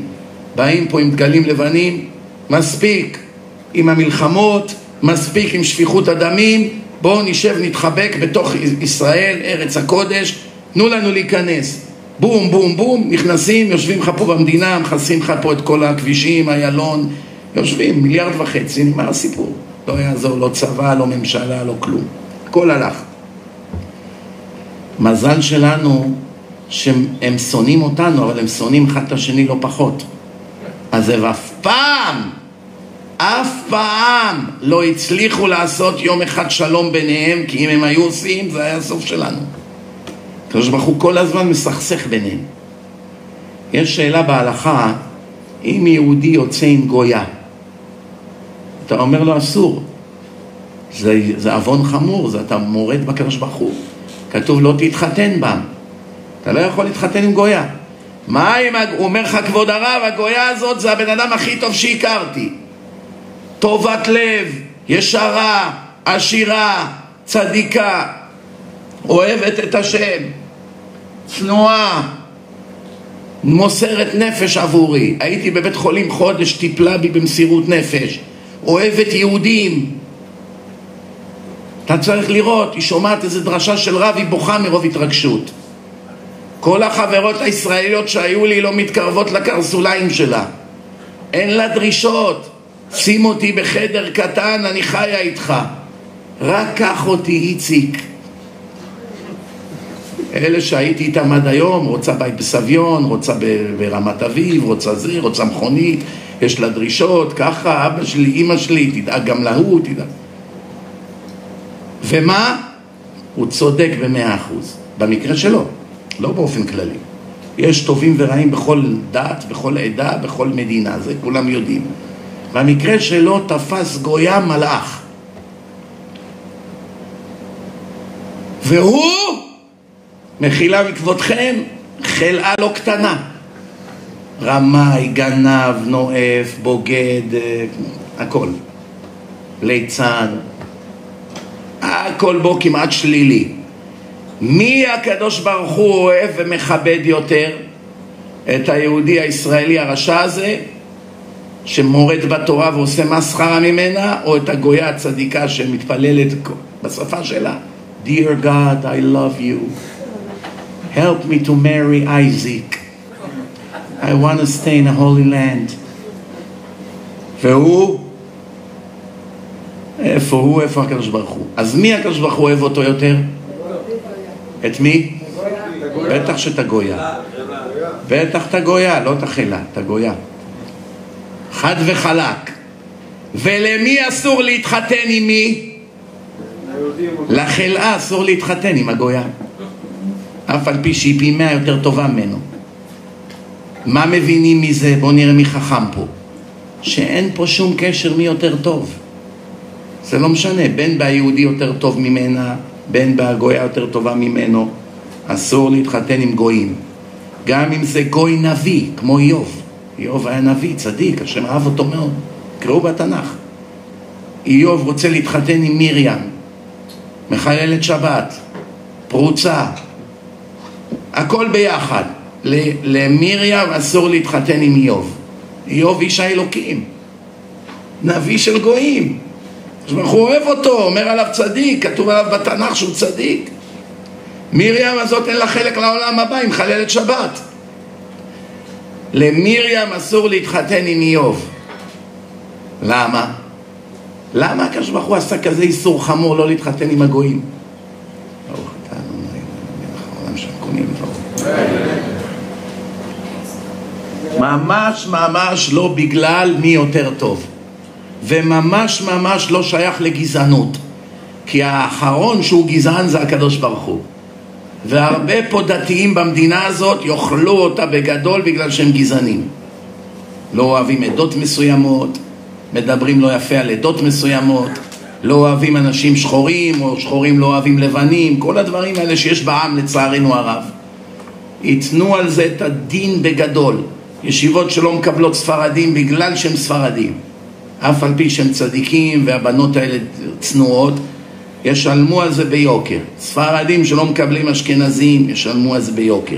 לבנים שלא מקבלים אתיופים, ישלמו על זה ביוקר. אתיופים שלא מקבלים לבנים, אני לא יודע אם יש כזה דבר, אבל אם יש כזה דבר, ישלמו על זה ביוקר. אין שום הבדל, זה יהודי, זה יהודי, זה יהודי, כולם בנים של השם. לא משנה איפה נולדת, לא משנה צבע העור שלך, רק מה שמשנה, אתה צדיק או רשע, זהו. כל השאר זה בלבולי מוח, או איך אומרים האשכנזים? בובו מייסס.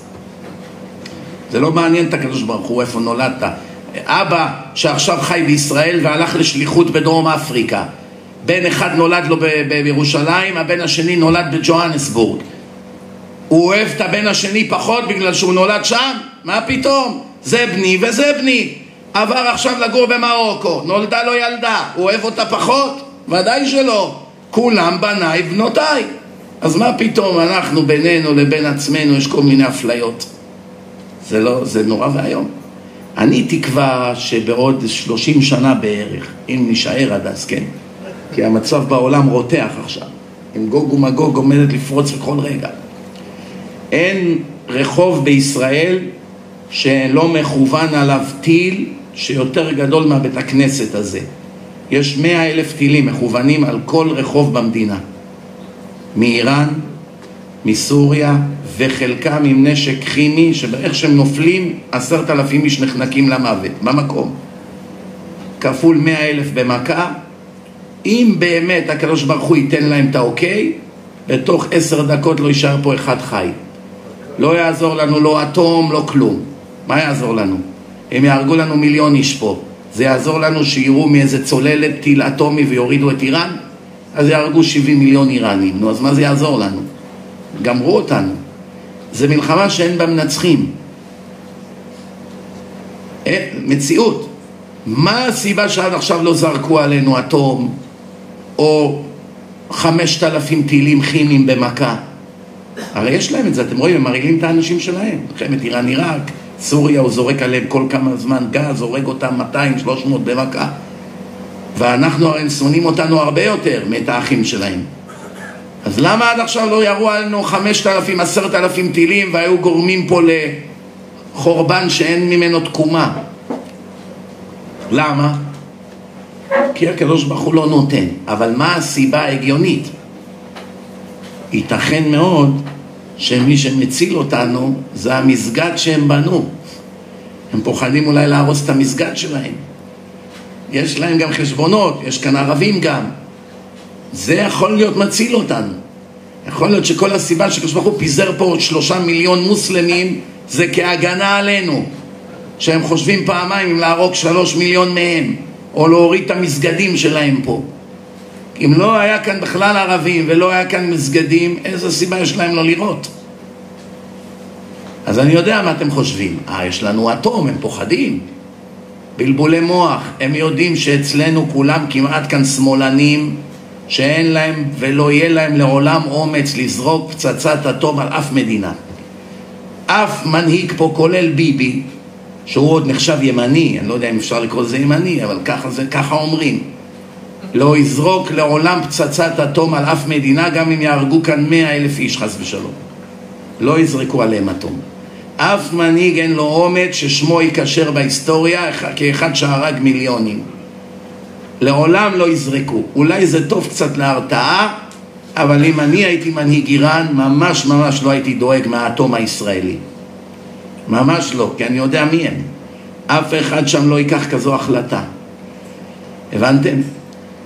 במלחם, במלחמת השחרור 95% מהערבים ברחו, עלו על חמורים ועל משאיות ואוטובוסים וברחו למדינות ערב. משה דיין וגולדה מאיר התחילו לצעוק אליהם, תחזרו, למה אתם בורחים? שמעתם כזה דבר? באת לארץ הקודש, רוצים הערבים לברוח לסוריה, ללבנון, לירדן, צועקים להם הקומוניסטים, גולדה ודיין וכל שאר המנהיגים, צועקים להם במגפון, תחזרו, תחזרו, אין לכם מה לפחד, אנחנו לא ניגע בכם, ניתן לכם תעודת זהות, יהיה לכם טוב פה. נשארו רק חמישה אחוז מהערבים בבתים שלהם, תשעים וחמישה אחוז ברחו. הם בכו להם, התחננו, תחזרו למזרח ירושלים. משם יוצאים כל הפיגועים היום. כל הסבל, אתה הולך לירושלים, אתה רועד, אתה עובר ליד השוק הערבי, אין לך אומץ להיכנס. אפילו בתוך הכותל אתה פוחד בכניסה. כל הסבל שיש פה, תחזרו! למה הם צעקו להם תחזרו? בגלל שהם היו בורים ועמי ארצות בתורה. אם משה דיין או גולדה מאיר היו יודעים תורה, למשל בן גוריון, הוא לא היה בור ועם הארץ, הוא ידע הרבה. תסתכלו, יש רעיון של שעה איתו. הוא מדבר יותר טוב מרבנים של היום. שום דבר לא קורה פה בלי הקדוש ברוך הוא. הקיום שלנו זה אך ורק מהקדוש ברוך הוא. לעולם לא יהיה שלום עם הערבים, הם לעולם לא יעזבו אותנו. כל התרבות שלהם זה להשמיד אותנו. הכל הוא אמר ברעיון אחד. אפילו אורן חזן לא מדבר ככה היום. נכון או לא? גם פוחד כבר, כל מילה שיוצאת לו מהפה קוטלים. ישר, מרחיקים, זה, איך אומרים, הרחקה מהכנסת. זועבי עוד שם, אחמד טיבי עוד שם, טרוריסטים רוצחים יושבים שם, ואחמד טיבי מחזיק את הפטיש. אני קורא אותך לסדר. מדינה של שוטים. אם אני הייתי פה, אני הייתי נותן כזה דבר? פתחון פה לב... אני יודע מה אתם אומרים, כבוד הרב, זו הדמוקרטיה. מה אתה רוצה? אתה רוצה שנהיה כמו סוריה, דיקטטורה? התשובה היא לא. גם דיקטטורה היא מסוכנת. יקום לך מנהיג מטורף, ישתלט פה על העם, כמו הארדואן הזה, תראה מה הוא עושה. 30 אלף איש הכניס לבתי סוהר. מורים, דוקטורים, כל מי שלא כדעתו בצוהר. זה גם לא הדרך. אבל צריכים דמוקרטיה הגיונית, לא של שוטים, בורים ועמי ארצות. אני אסביר את דבריי. שהגו את רעיון הדמוקרטיה. לפני מאות ואלפי שנה. שלטון העם, מה זה דמוקרטיה? שלטון העם, הרוב קובע. הרעיון הזה שהרוב קובע הוא רעיון חיובי או רעיון טיפשי? מה אתם אומרים? בתורה כתוב אחרי רבים להטות. לפי זה, דמוקרטיה זה דבר חיובי או דמוקרטיה זה דבר שלילי? שלילי. איך? פשוט מאוד. מי יכול להסביר לי מה פירוש הפסוק אחרי רבים להטות? רבים באיכות. יפה מאוד. אמר החכם בדיוק מה שהתורה התכוונה. לא אחרי רבים בכמות, מה פתאום? איזה שוטה יחשוב כזה דבר? אחרי רבים באיכות, אני אסביר את דבריי. יש לך חכם עובדיה יוסף, או חכם אלישיב, יודעים את כל התורה, גם את כל החומש, גם את כל הגמרא, כל המפרשים, זוהר, קבלה, שולחן ערוך, רמב"ם, אלפי ספרים יודעים אותם בערך בעל פה, מילה במילה. ויש רבנים רגילים, הרב של הבית כנסת, הרב ההוא, הרב ההוא, יודעים רבע מהתורה, במקרה הטוב. יבואו מאה רבנים רגילים, אומרים מותר. יבוא הרב אלישיב ויגיד חס וחלילה אסור. למי חייבים לשמוע מהתורה? לגדול הדור. הוא יודע את כל התורה, אלה יודעים רק רבע או חצי. יבוא דוקטור, דוקטור רגיל בקופת חולים, אומר לך אתה צריך ניתוח לב פתוח. מאה דוקטורים בדקו אותך בבית חולים, כולם אמרו ניתוח לב פתוח. בא דוקטור אישיגאווה מיפן, מומחה בעל שם עולמי לניתוחי מוח, פתח לך את הלב, את המוח, אמר, אמר, אל תצחיק אותי, אמר, חס וחלילה, שום ניתוח לב, שום ניתוח מוח, כלום. למה דוקטור אישיגאווה? למה? אני 40 שנה מנתח יום יום עשרה ניתוחים ביום. מה אלה מהקופת חולים יודעים פה, מאיכילוב? מה הם יודעים בכלל מה זה מוח? הם לא יודעים חמישה אחוז ממוח. מה הם, הם מומחים, מתמחים במוח? לא. הוא יודע אקמול, יודע אולקוס, יודע שפעת, יודע כל מיני דברים כאלה. זה הוא יודע, מה הוא יודע רופא רגיל?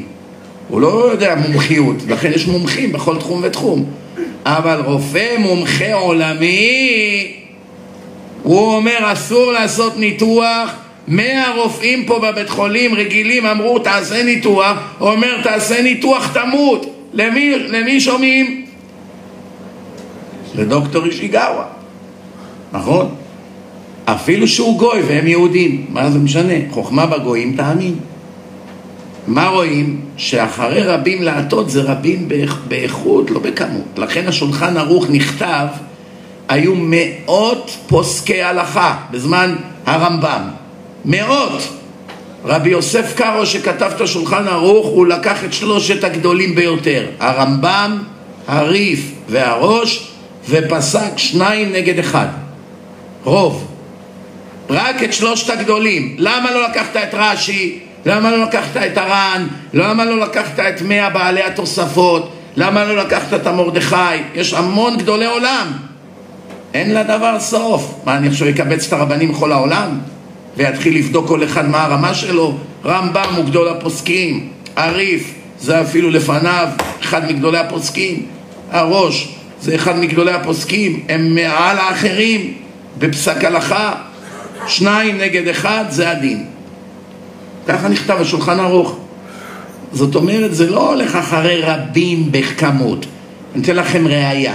במדינה שלנו, רוב העם משכיל בעל תואר אקדמאי או רוב העם בורים ועמי ארצות שבקושי עברית לא יודעים לכתוב? מה אתם אומרים? 20 אחוז אנשי ספר, אנשי אוניברסיטה, בוגרי אה, מכללות ו-80 אחוז עמך פשוטים, נהגים, ירקנים, מנקים, לא למדו אוניברסיטה, כל מילה שנייה שלהם בעברית היא שגיאה רוב העם הם גנרלים בצה"ל ואנשי מוסד ו... ו... ומפקדים אה, שמסרו את חייהם להגן על המולדת או רוב העם זה אנשים פשוטים שלהחזיק אקדח לא יודעים אפילו רוב העם מהו? רוב העם הם לא יודעים ביטחון. אז עכשיו, אם רוב העם יחליט שהוא רוצה שחקן כדורגל שיהיה שר הביטחון, ו-20% שמבינים צבא, היו אנשי צבא, רוצים שיהיה איזה גנרל רציני שהוכיח את עצמו באיזה סיירת, 40 שנה מסר את נפשו למדינה, יודע את סודות האויב, יודע את הסיכונים הקיימים. 20% הצביעו בעד הגנרל, 80% אוהבים את מסי, רוצים שמסי יהיה שר הביטחון. לפי השיטה, נלך אחרי הרוב, יאללה, מסי, שיהיה שר ביטחון. אז מה יהיה? אז נמות תוך יומיים. אז מה יהיה? אלא מה? אין כאן שום עניין ללכת אחר הרוב, להפך, צריכים ללכת אחרי החכמים. עכשיו, התורה והדמוקרטיה לא חייבות להתנגש זו בזו. אני מציע, הנה, תקליטו אותי. חייבים לתקן את חוקי הדמוקרטיה. איך מתקנים? כל מי שחי במדינה והוא אזרח, מגיע לו שוויון זכויות. בין והוא יהודי, בין והוא ערבי, בין והוא תאילנדי, לא יודע מה. הוא גר פה, קיבל תעודת זהות, מגיע לו שוויון זכויות, בתנאי אחד, שהוא לא אויב המדינה. זה שהמציא את הדמוקרטיה, בוודאי, ללא שום צל של ספק, מעולם לא עלה בדעתו לתת זכויות למיעוט במדינה שמכריז כל יום לא ננוח עד שנהרוג את הרוב. מובן מה אני אומר או לא? אם אני חי עכשיו בהודו ויש שם 20% אחוז מאיזה כת מסוימת והם מכריזים שהם רוצים להרוג את ה-80%, אחוז, אני אכפת לי מהם?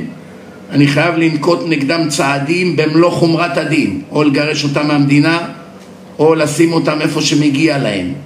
ודאי ובוודאי לא לשלם להם על הילדים שלהם, לא לקנות בחנויות שלהם ולא לתת להם להסתובב כאן חופשי. ובוודאי לא לשלם על כל אחד מהם 105 אלף שקל כדי שיהיה סטודנט שיבוא להרוג אותי יותר בפיקחות. הרי הוא מצהיר בפנים שלי שהוא אויב שלי, שהוא אויב של היהודים פה. הוא לא מחביא את זה. מילא יש כאן כל מיני רוסים נוצרים אנטישמיים שהם משחקים אותה אוהבי העם, מחייכים לך, ובזמן שמדברים רוסית בבית, הם מזדהים עם היטלר, וחלק מהם גם יש להם צלבי קרס על הגוף. אבל הם לא מעיזים לבוא לעמוד ברחובות ולהגיד מוות ליהודים. או לא ננוח עד שלא נשתלט על המדינה ונזרוק אתכם מפה. לכן אין לך מה לעשות, אין לך הוכחות נגדם. אבל כשבאים לך אלפים של ישמעאלים פה, שיש להם תעודת זהות ומשתפים פעולה עם פיגועי טרור, ומסיעים כאן אנשים, ועושים כל מיני דברים, וברשתות החברתיות כותבים פה מפורש שצריכים להשמיט פה את היהודים, והמדינה המטומטמת הזאת עדיין נותנת להם זכויות, משהו כאן מסריח מהראש. פוליטיקאים פה שותים. זה לא דמוקרטיה. דמוקרטיה זה מי שהוא לא אויב המדינה. לא משנה עכשיו, חילוני, דתי, אני לא אוהב המדינה. אני רוצה בטובת המדינה. אני רוצה שהמדינה הזאת תהיה לה קיום, אני לא רוצה להשמיד את המדינה. לכן כל מי שאויב המדינה חייבים מיד לבטל לו את כל הזכויות. לא לתת לו שום דרכון ישראלי, שום תעודת זהות ישראלית, לא לתת לו שום כספים לכל הילדים שהוא מוליד לעולם, לא לתת לו להיות סטודנט, הוא לא יכול להיות רופא בבית חולים, הוא לא יכול להיות עורך דין, הוא לא יכול להיות שופט, הוא לא יכול ללכת כאן בחופשיות. ככה צריכים לעשות דמוקרטיה, כי דמוקרטיה היא בעד אלה שהם בעד המדינה.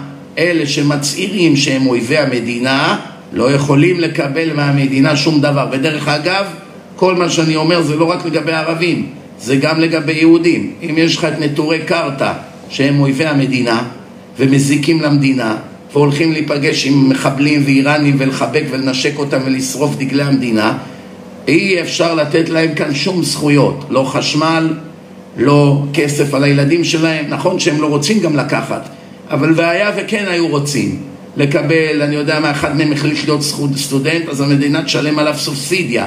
בשום פנים ואופן לא. זה בוגד במדינה, זה אויב המדינה.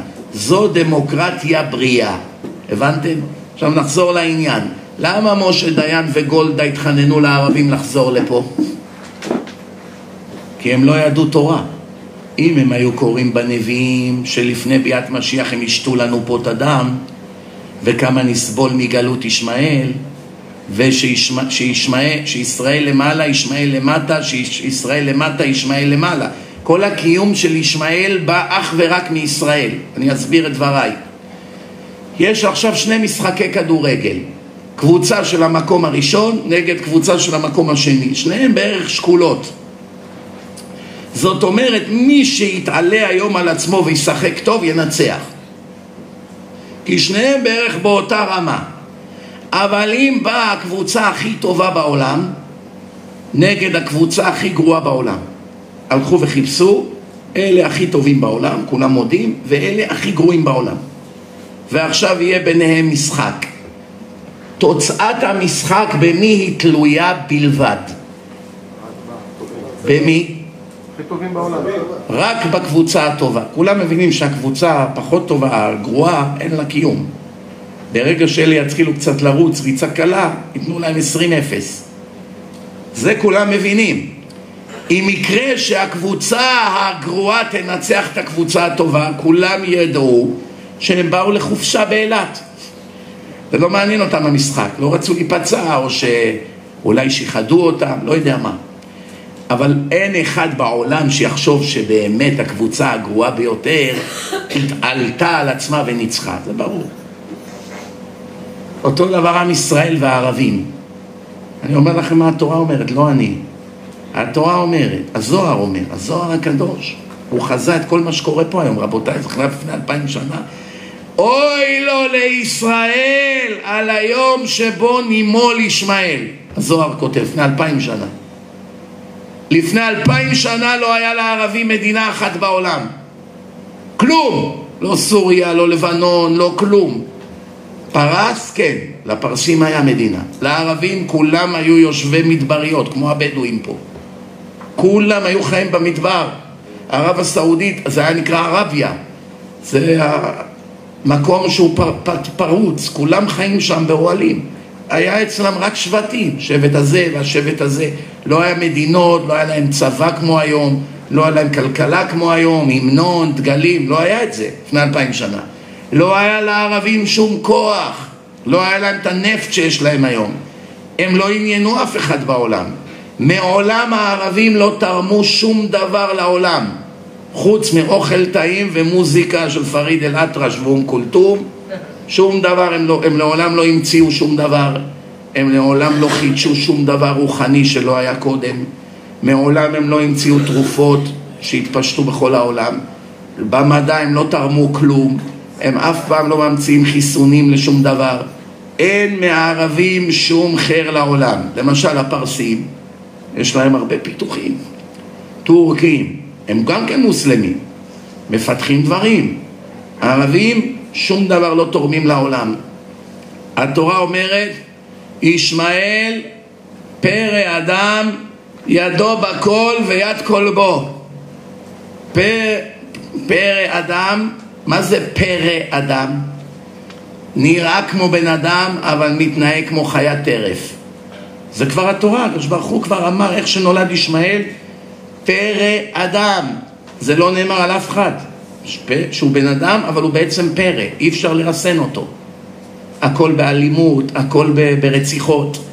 ככה התורה כבר אמרה. מי שברא את ישמעאל, הגמרא אומרת, אחד הדברים שכביכול זה רק במשל. הקדוש ברוך הוא מתחרט עליהם, זה שברא את ישמעאל.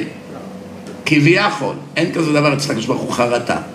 רק כדי לסבר לנו את האוזן כמה נסבול מהם. והזוהר כותב לפני אלפיים שנה, שלא יהיה לכם ספק, זה לא נכתב היום. היום גם אני יכול לכתוב את זה, כי אני רואה מה קורה. אבל בזמן שרבי שמעון בר יוחאי כתב את זה, הם היו אומללים גרים באוהלים ברחוב, כלום, שום כוח לא היה להם להשפיע על העולם. אז היה ספרד וצרפת וגרמניה של אדום, אבל הערבים לא היה להם שום כוח. זהו, הם היו מפוזרים במדבריות. והזוהר אומר שלפני ביאת משיח הם ישלטו בכל העולם ויטילו אימה. עתידים בני ישמעאל לעכב מבני ישראל בשובם למולדת. שבני ישראל עושים ברית מילה ובני ישמעאל עושים ברית מילה. ועל ברית מילה הקדוש ברוך הוא הבטיח את ארץ ישראל לבניו של אברהם אבינו. מה אמר לו? בזכות הברית מילה לזרעך אתן את הארץ. אבל אומר הזוהר, כמו שהברית של ישמעאל היא חלולה, הם עושים את זה בגיל יותר מאוחר, לא בשמונה ימים, והם לא עושים פריאה, שזה חלק ניכר מן הברית.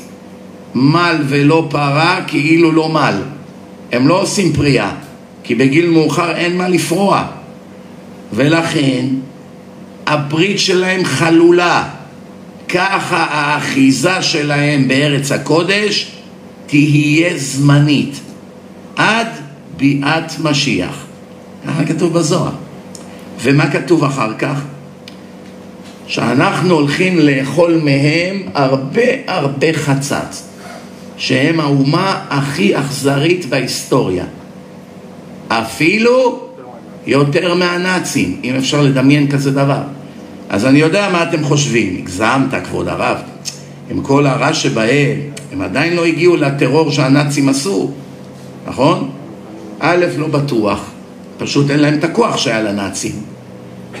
אבל איפה שכן יש להם כוח, הם עושים בדיוק את אותו, הם עולים על בן אדם עם טנק. אני בעיניים שלי ראיתי מישהו שלח לי סרטון, אחד עם אזיקים, ערבי, אחד משלהם, עלו עליו עם טנק. אתם יודעים מה זה, איזה, איזה מוות זה? טנק שוקל עשרות טונות עם, עם, עם השרשראות שלו, עולה על הבן אדם, מועך לו ככה את הראש, את הלב, נורא ואיום. או שאיך שהם הורגים אנשים, איך שהם שוחטים אנשים. אז א', ממש לא בטוח שהם פחות מהנאצים, פשוט אין להם את הכוח, הנאצים שלטו בכל העולם, כבשו מדינה אחרי מדינה, זה אחד. דבר שני, מה הראיה שהם סכנה אחד על אחד, אפילו יותר מחייל נאצי? מי יכול לתת לי ראיה? הם מוכנים למות בשביל שאתה... יפה מאוד, יפה מאוד.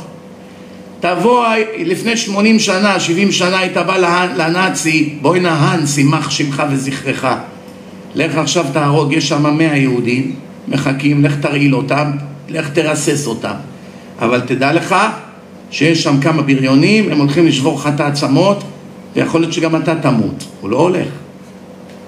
אני מוכן להרוג את כל היהודים, בשמחה רבה, שרק שלא תיפול לי שערה אחת מהראש. תישבר לי היד, לא הולך. שיחיו, לא אכפת לי. שונא אותם, שונא, אבל עד כאן. תבוא תגיד לאחמד, לך עכשיו, יש כמה יהודים להרוג, אבל יהרגו גם אותך. אומר, וואלה, יופי. בסמילה אללה וואלה, ישר לגן עדן. הוא גם מביא את השש עשרה מחבלים שלו, יחד איתו. בואנה, אסמאעיל, עבדאללה, מחמוד, סעיד, תתכוננו. את כולם הוא מביא. להרוג ישראלי אחד, אין ספק, הוא והשש עשרה מחבלים צעירים שלו מוכנים למות כדי להרוג שניים שלושה. אין לו בעיה, יתאבד עליך. הרבה פעמים יכלו להרוג אותנו בלי להתאבד, סתם, מיריות. בא, מתאבד, בשביל מה אתה מתאבד? מה הבעיה, חסר נשקים? חסר נרקומנים שמוכרים נשקים של אלף דולר עוזי? אלפים מכרו להם. חסר להם נשק מאיראן? מה? יש איזה מחבל שאין לו נשקים בלי סוף היום. מה אתה? תבוא, אתה הורג חמישים איש. מתאבד עליך. הורג חמישה. למה? בראש שלו מצווה למות. מצווה למות בעוד אני הורג יהודי. אין כזה דבר, אף נאצי לא יתאבד על יהודי. אף נאצי לא סיכן את חייו כדי להרוג יהודים. נאצים שונאים יהודים כמו שהערבים שונאים יהודים, אז אין ויכוח. אבל אם היית אומר לנאצים, אתה לא תמות יחד איתם, הם ישתחררו עכשיו, יברחו לארץ ישראל. מה אכפת לי? אני לא אמות. הילד שלי לא ימות. מסכימים איתי או לא? ברור. זה מציאות או לא? לא מגזים, נכון? אז באמת, אתה רואה שהזוהר כבר אמר לך שלפני הסוף מהם נסבול. זה יהיה גלות הכי קשה שיש. כמה סובלים היום? אתה בא לעלות על מטוס, מוריד נעליים, פותחים, אתה רוצה איזה בקבוק מים, תשפוך, תזרוק, תוציא מחשבים, לוקחים חקירות. ומה שמעניין, הם סובלים הכי הרבה, ולא מזיז להם. אין שום התמרמרות. תראו, כולנו מודים שאפילו לא אחוז מהם בפועל רוצח. הרבה מהם הם בעד רצח, הרבה מהם הם מאוד שמחים שהורגים יהודים ונוצרים. אבל הם בפועל לא רוצחים. אולי הם תורמים לארגוני פשע, אה, טרור, אבל הם לא הולכים בעצמם הורגים. זה עורך דין, זה רופא, זה שופט, זה נהג. לא כולם טרוריסטים. אז אפילו לא אחוז מהם טרוריסטים בפועל. באידיאולוגיה כמעט כולם כן, הם מודים. הסקר של האו"ם, המדינה ששם הודו הכי פחות שמאחלים למוות של היהודים זה מרוקו, 87 אחוז. רק 13 אחוז במרוקו אוהבים יהודים.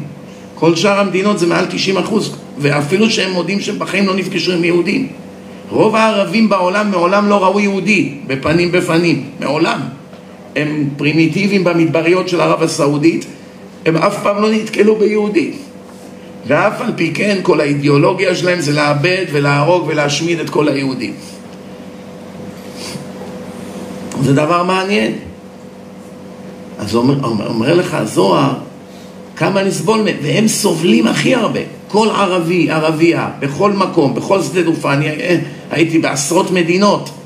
כל מקום שהם באים עם השכמיות האלה וזה, ישר לוקחים אותם, פותחים להם את המזוודות, עושים להם חקירה, הם כתוב נולד בעיראק, מגיע לארצות הברית, שלוש שעות חקירה, השפלות, באה אישה, בודקת לה באיברים האינטימיים, אה, לפעמים זורקים אותם חזרה, עכשיו שש מדינות לא יכולים להיכנס לאמריקה, הם כל כך הרבה סובלים, כל מקום שהם הולכים ישר מסתכלים, וואו וואו וואו וואו, מהר קחו אותם, תבדקו, פה גם אותו דבר, אין ברירה, מה אתה יכול לעשות? זאת אומרת, הם בעצמם משלמים את המחיר. מקללים אותם ברחובות, באמריקה יש כל מיני KKK, כל מיני נאצים, רואים אותם, מתחילים לקלל אותם. הם סובלים בעצמם. והנה מה? לא אכפת להם, נסבול עד המוות. העיקר נפיץ את האג'נדה שלנו, את האידיאולוגיה שלנו בכל העולם. לכן אני אמרתי, רבותיי, כדי שננצל מהם צריך שני דברים, מי יודע מה? כתוב, כל מי שרוצה להינצל ממלחמת גוג ומגוג חייב לעסוק בתורה ובגמילות חסדים. בואו נהיה אמיתיים. לעסוק בתורה, אנחנו רחוקים מאוד מזה. עוסקים בהכל חוץ מבתורה. פה ושם אתה רואה איזה חכם שבאמת אוהב את התורה, מוסר נפש. רוב הדתיים לא לומדים תורה. באים אליי אנשים לשבת אחרי עשרים שנה שהם בעלי תשובה, הם לא יודעים לעשות נטילת ידיים. לא יודעים הלכות פשוטות, הנשים שלהם לבושות בפריצות, הם אפילו לא יודעים, זה לא בכוונה. הם לא יודעים, לא יודעים ברכות, לא יודעים כלום. היה איזה אחד שבע שנים דתי, לא ידע לעשות על המחיה ועל הכלכלה על עוגה.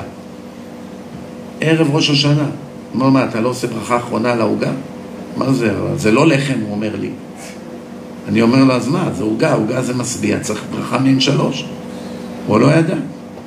העיקר מדבר לי על הקבלה ועל הזוהר ועל הארי. לא יודע לעשות... בו. זה מה שדרך אגב גרם לו לעזוב את השטויות. לובש לבן, כיפה לבנה בשבת. למה ראה באיזה סידור של הארי, שזה מצווה ללבוד לבן בשבת. לובש לבן, דומה למלאך, ובסוף מתנהג כמו מלאך המוות. לא יודע א' ב', א' ב' לא יודע, לא יודע להניח תפילין. רוב הבעלי תשובה לא יודעים להניח תפילין, רבותיי. התפילין הם לא כלפי הלב, הם לצד השני או למעלה. לא מקוונות, לא שני אצבעות מהקיפול. לא יודעים. מדברים בין תפילין של יד לתפילין של ראש. כל מיני דברים מסוימים, שלא למדים דברים פשוטים, לא יודעים. אז בואו נגיד שלעסוק בתורה, איך אומרים? בדיל ויעבור. לא זכינו. אז מה נשאר לנו, לאנשים הפשוטים? גמילות חסדים. מה החסד הכי גדול בתורה? מה החסד הכי גדול שאתה יכול לעשות ליהודי? בדיוק. להציל את נשמתו, אין דבר יותר חשוב מזה. תן לו מיליון דולר, לא שווה. תקנה לו בית, לא שווה. תקנה לו אוטו, לא שווה. שווה! אבל לא מתקרב אפילו אם הצלת את נשמתו.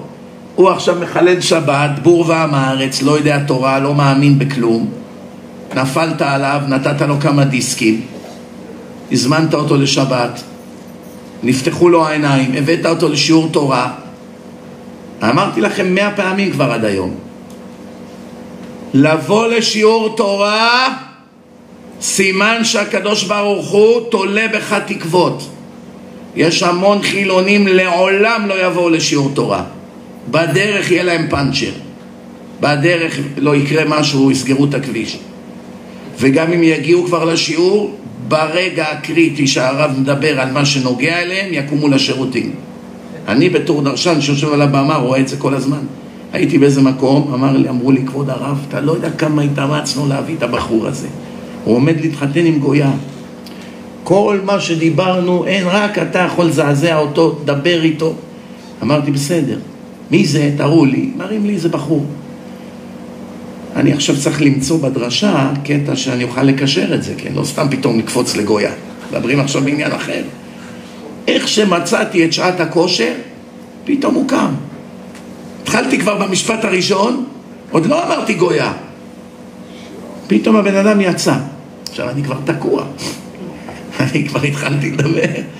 עכשיו אני צריך לצאת מזה, כי אני מדבר לקיר. חמש דקות אני תקוע בנושא הזה, מצאתי קישור לנושא אחר. דרך אגב, החלק הכי קשה בדרשות זה הכישורים. לא הידע. ידע, אתה לומד הרבה תורה, יש לך, אתה יכול לדבר שנה רצוף. לא הבעיה. הבעיה זה לעבור מנושא לנושא. כמו להיות די-ג'יי, לקשר בין שיר לשיר, אבל שלא יהיה פתאום קפיצה חדה. זה לא שייך בדיסקוטק. צריך מיקסר. כן? הדי-ג'יי הכי טובים, הם יודעים לעשות מיקסים. כן? להיות דרשן, לדעת את כל התורה, זה כמובן שזה לא קל, אבל זה אפשרי. אבל לא כל אחד יש לו את הסייעתא דשמיא לקשר בין נושא לנושא תוך כדי הדרשה באופן ספונטני, שזה ייראה חלק מהתוכנית. זה קשה, זה לא קל. אז איכשהו מצאתי קישור, יאללה, ויברח, נכנס. ריבונו של עולם, תראה מה זה. מה הפריע לקדוש ברוך הוא לתת למסכן הזה שעומד להתחתן עם גויה וכל הילדים שלו יהיו גויים ונחרט לנצח נצחים וכל השושלת שלו נחרטת? מה הפריע לקדוש ברוך הוא שישמע חמש דקות דברים נוקבים מה זה להתחתן עם גויה? אין לו זכות. אז אם באת לשיעור, אפילו שאתה סובל, אתה חילוני, קשה לך לשבת שעתיים בשיעור תורה, מבין אותך מאה אחוז. אני בישיבה בשנים שהייתי מלמד גמרא, היו באים כל מיני דוקטורים, כל מיני אנשים בימי ראשון, באים לישיבה אצלנו. הייתי כבר אומר, טוב, מעניין כמה דקות הוא יישאר ער. רבע שעה מקסימום, מוריד את הראש, נרדם בשיעור גמרא. מרוב שהוא מלא בקליפות של טומאה מעבירות על הנשמה, קשה לו להתחבר לתורה, אז הוא סובל מזה, זה הורג אותו. עד שהתורה תחדור את הקליפות, קליפות בלשון הקבלה זה חושך שמאפיל על האור של הנשמה, מרוב העבירות. אז כמה שאתה שומע יותר דיסקים, יותר תורה, לאט לאט זה מוריד עוד שכבה של טומאה, עוד שכבה, עוד שכבה, עד שאתה רואה את האור הגדול. אבל אתה גם צריך למעט בעבירות, כי אם אתה ממשיך לעשות הרבה עבירות, אז אתה מצד אחד מקלף את הקליפות, מצד שני אתה גורם קליפות חדשות, אז אתה כאילו כמעט דורך במקום. אז אנשים מיד נרדמים. אז אני אומר לו, דוקטור, שיעור. אני לא מבין למה אני עייף, אני רק קמתי ב-11 יום ראשון באמריקה חופש. רופא חילוני, רוצה לבוא קצת ללמוד גמרא. מגיע לישיבה, הוא רק התעורר לפני שעה ב-11, ב-12 בצהריים, מגיע לישיבה, אחרי רבע שעה נרדם. פשוט מאוד, רבותיי, ככה זה עובד. אבל צריך זכות, צריך זכות. אם הקדוש ברוך הוא הביא אותך, הוא שלח לך איזה חבר טוב, הביא אותך לשיעור, וגם זכית לבוא לשיעור. פעם אחת הייתי צריך לעשות פה דרשה לכל הכדורגלנים. כבר שמונים אישרו שהם באים. שמונים. הכדורגלנים הכי מפורסמים. אמרו, אנחנו באים לדרשה. מה קרה? פתאום משחק הכי מפורסם בליגה של האלופות, לא יודע, בינלאומי, משהו, נפל באותו יום. למה? כנראה שהיו הרבה כדורגלנים שם שלא היה להם זכות לשמוע. שבחו ביטל את האירוע. פתאום נפל, בש... אני אומר לבחור שארגנת, הרי אתה מבין בכדורגל, אתה מכיר את. את. את המידת נעליים של כל כדורגלן, אתה יודע. איך זה לא ידעת שיש ריאל מדריד באותו יום? אומר לי כבוד הרב, הקדוש ברוך הוא עיוור אותי. עד ליום של הדרשה. ביום של הדרשה פתאום התחילו כולם להגיד לו, בואי נא, איך עשית דרשה היום? יש משחק. אנחנו נבוא לחצי שעה, אבל המשחק מתחיל בתשע ומשהו. הבנתי כבר שאף אחד לא יבוא, אמרתי לו, טוב, צריך זכות לבוא לשמוע את האמת. אברהם אבינו, מה אתה חושב? הקדוש ברוך הוא התאהב במראה היפה שלו, ופתאום התחיל לבוא לדבר איתו?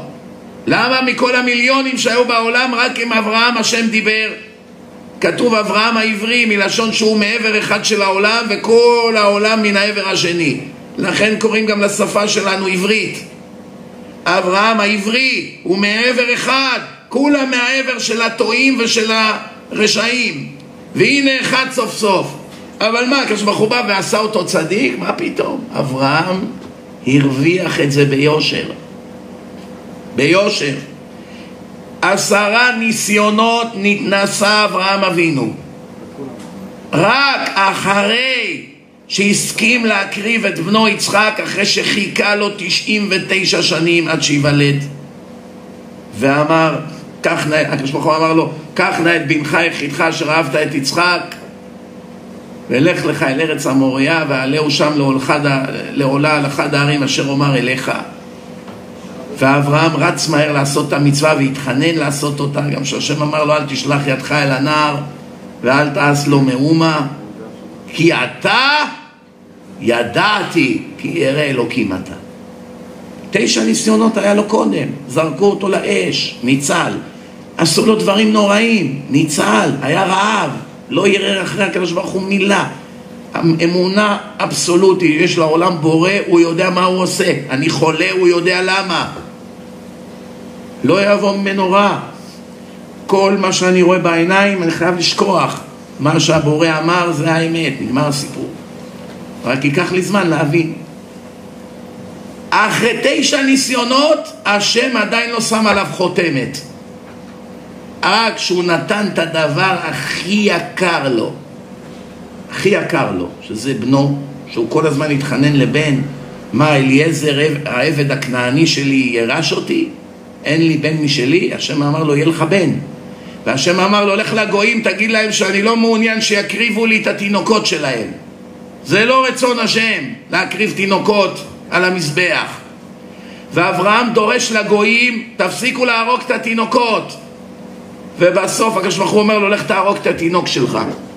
לא כל כך כבר היה תינוק, הוא היה בן 37, אבל על אותו עיקרון. אברהם לא רק עשה, גם אני הייתי עושה, גם הוא היה עושה, גם אתם הייתם עושים. אפילו אם היית חילוני, גם אתה היית עושה. אז למה אתה לא אברהם? אני אגיד לכם למה. אם עכשיו הקדוש ברוך הוא היה בא לחילוני והוא מבין שזה, שזה השם, החילוני מבין שזה השם.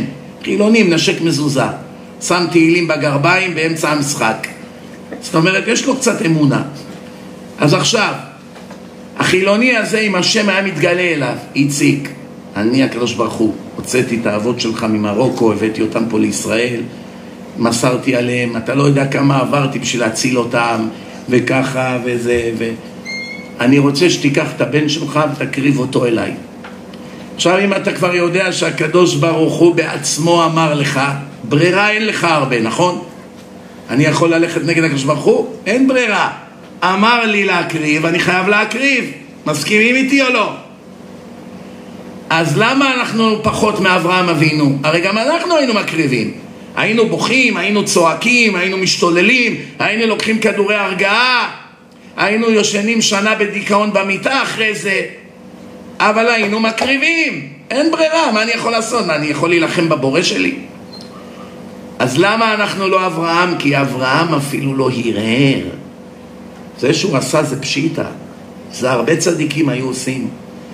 החז"ל מסבירים למה אברהם הוא אדם גדול, כי הוא אפילו לא הרהר, הוא לא חשב בראש שלו איך הקדוש ברוך הוא סותר את עצמו ככה. מה, הוא עובד עליי? הוא אמר לי, ויצחק יקרא לך זרע. ועכשיו הוא אומר לי, תהרוג אותו. מילה הוא לא ערער. ככה השם אמר, לא שואלים שאלות. זו מדרגה גבוהה מאוד. רוב החילונים היום, איך הם חוזרים בתשובה? איזה דיסקים שלי מחזירים יותר בתשובה? דיסקים שמלמדים על פרשת השבוע? לא. דיסקים שמדברים על כל מיני מידות? לא. דיסקים של ההוכחות, תורה ומדע, תכלית החיים, חיים אחר המוות. דיסקים של ההוכחות עשו פה עשרות בעלי תשובה. אתמול רק כמה, כמה אנשים אתמול אמרו, אז הדיסק שלך תורה ומדע, מיד חזרתי בתשובה. 90 אחוז מהאנשים שבאים ואומרים לי חזרתי בתשובה זה או תורה ומדע, או תכלית החיים, או דיסק מספר אחד. אחרי זה יש את הדיסקים האחרים של המוסר והמידות, פרקי אבות, תכלית, בסדר. אבל הדיסקים שפותחים לחילונים את העיניים, ברגע שהוא מבין שהתורה שלנו לא יכולה הייתה להיכתב על ידי אדם בשר ודם, אלא אך ורק על ידי זה שברא את העולם, עכשיו הוא מבין שזה מאה אחוז מבורא עולם. ולא רק זה, גם התברר לו כרגע שאם הוא ימשיך להיות חילוני, הוא יאכל אותה בגדול. הוא ישלם מחיר גדול מאוד ביום שהוא ייפטר מן העולם. אז השילוב של ידע, שעכשיו התברר, יש בורא לעולם, ויש תורה, ויש אמת, ויש חיים אחר המוות, ויש שכר ועונש. קשה מאוד להישאר חילוני, מאוד מאוד קשה. כי עכשיו כבר לא השארת לו הרבה ברירות. פתאום התברר לו שיש מחיר למעשים. אז אך ורק כשבן אדם משתכנע בשכל, הוא מסכים לשנות את דרכו הרעה. כל עוד לא שכנעת אותו בשכל, קשה מאוד להחזיר אנשים בתשובה עם עניינים של אמונה. יהיה לך טוב, יהיה לך פרנסה, תהיה בריא, הקדוש ברוך הוא ישמור אותך, הוא ייתן לך ילדים, הוא ייקח מאשתך את המחלה. זה לא יעבוד. בדור הזה, אדוני, כבוד הרב, תן הוכחות. אני לא משוכנע שהתורה מבורא עולם, איך אתה רוצה שאני אשמור שבת? אבל אצל אברהם זה לא היה, זה היה אמונה תמימה. עוד לא היה לו שום הוכחות. הוא רק הבין, אם יש לעולם הזה סדר, חמצן, מים, עצים, פירות. מישהו ברא את העולם. ואם מישהו ברא את העולם, הוא ברא את העולם עבור תכלית, כי אין שום דבר שנוצר ללא תכלית. ואם אני הדבר הכי חשוב בבריאה, והכל נוצר בשבילי, לא ייתכן שבורא עולם שם אותי פה ללא תכלית. זאת אומרת, כל העולם נברא בשבילי. ועוד, אם בורא עולם שם אותי פה עבור תכלית, וברא את כל העולם בשבילי, עצים, פירות, כל חיות, בשר, כל מה שקורה, שמש, ירח וכולי. בורא עולם עשה את כל זה בשבילי, לא ייתכן שהוא לא היה אומר לי מה התכלית. וכאן מתחילה היהדות. פה זה מתן תורה, והיא עונה על כל השאלות. אבל להגיע לזה, אברהם הגיע בלי תורה. סברה פשוטה. זה גם גויים יודעים, זה פשוט, הרבה גויים כותבים לי מכתבים. מה השאלה בכלל? מי המטומטם שיחשוב שאין בורא לעולם? גויים. מה, באמת יש יהודים שלא מאמינים שיש בורא לעולם? הם שואלים, שומעים את הדרשות. מה, באמת יש שונא דת בישראל? או שאתה מקצין? מה, באמת? אם הם רק יודעים איזה שונא דת מוסרים נפש כדי להרוס את הדת. מוכנים למות כדי להרוס את הדת. לכן רבותיי, אני אומר לך, קודם כל, בזמן שאתם יוצאים, לא לשכוח, יש פה את שחר בחוץ, הוצאנו עכשיו ספר פה בארץ, לקט חזק מאוד. חובה, חובה, חובה, מהכסף של המעשר שלך שאתה צריך לתת, תקנו כמה שיותר ותחלקו אותם לכל חילוני שיקר לכם. אבא, אימא, שכנים, חברים, אה, עמיתים לעבודה, כל מי שיש לך אליו גישה. קניתי לך מתנה, 60 שקלים ספר, שניים במאה, זה לא יקר. ספר משובח מאוד. אין מציאות שבן אדם יקרא אותו ויישאר חילוני. אין מציאות כזאת. ואם כן, אין יותר מה לעשות איתו. זהו.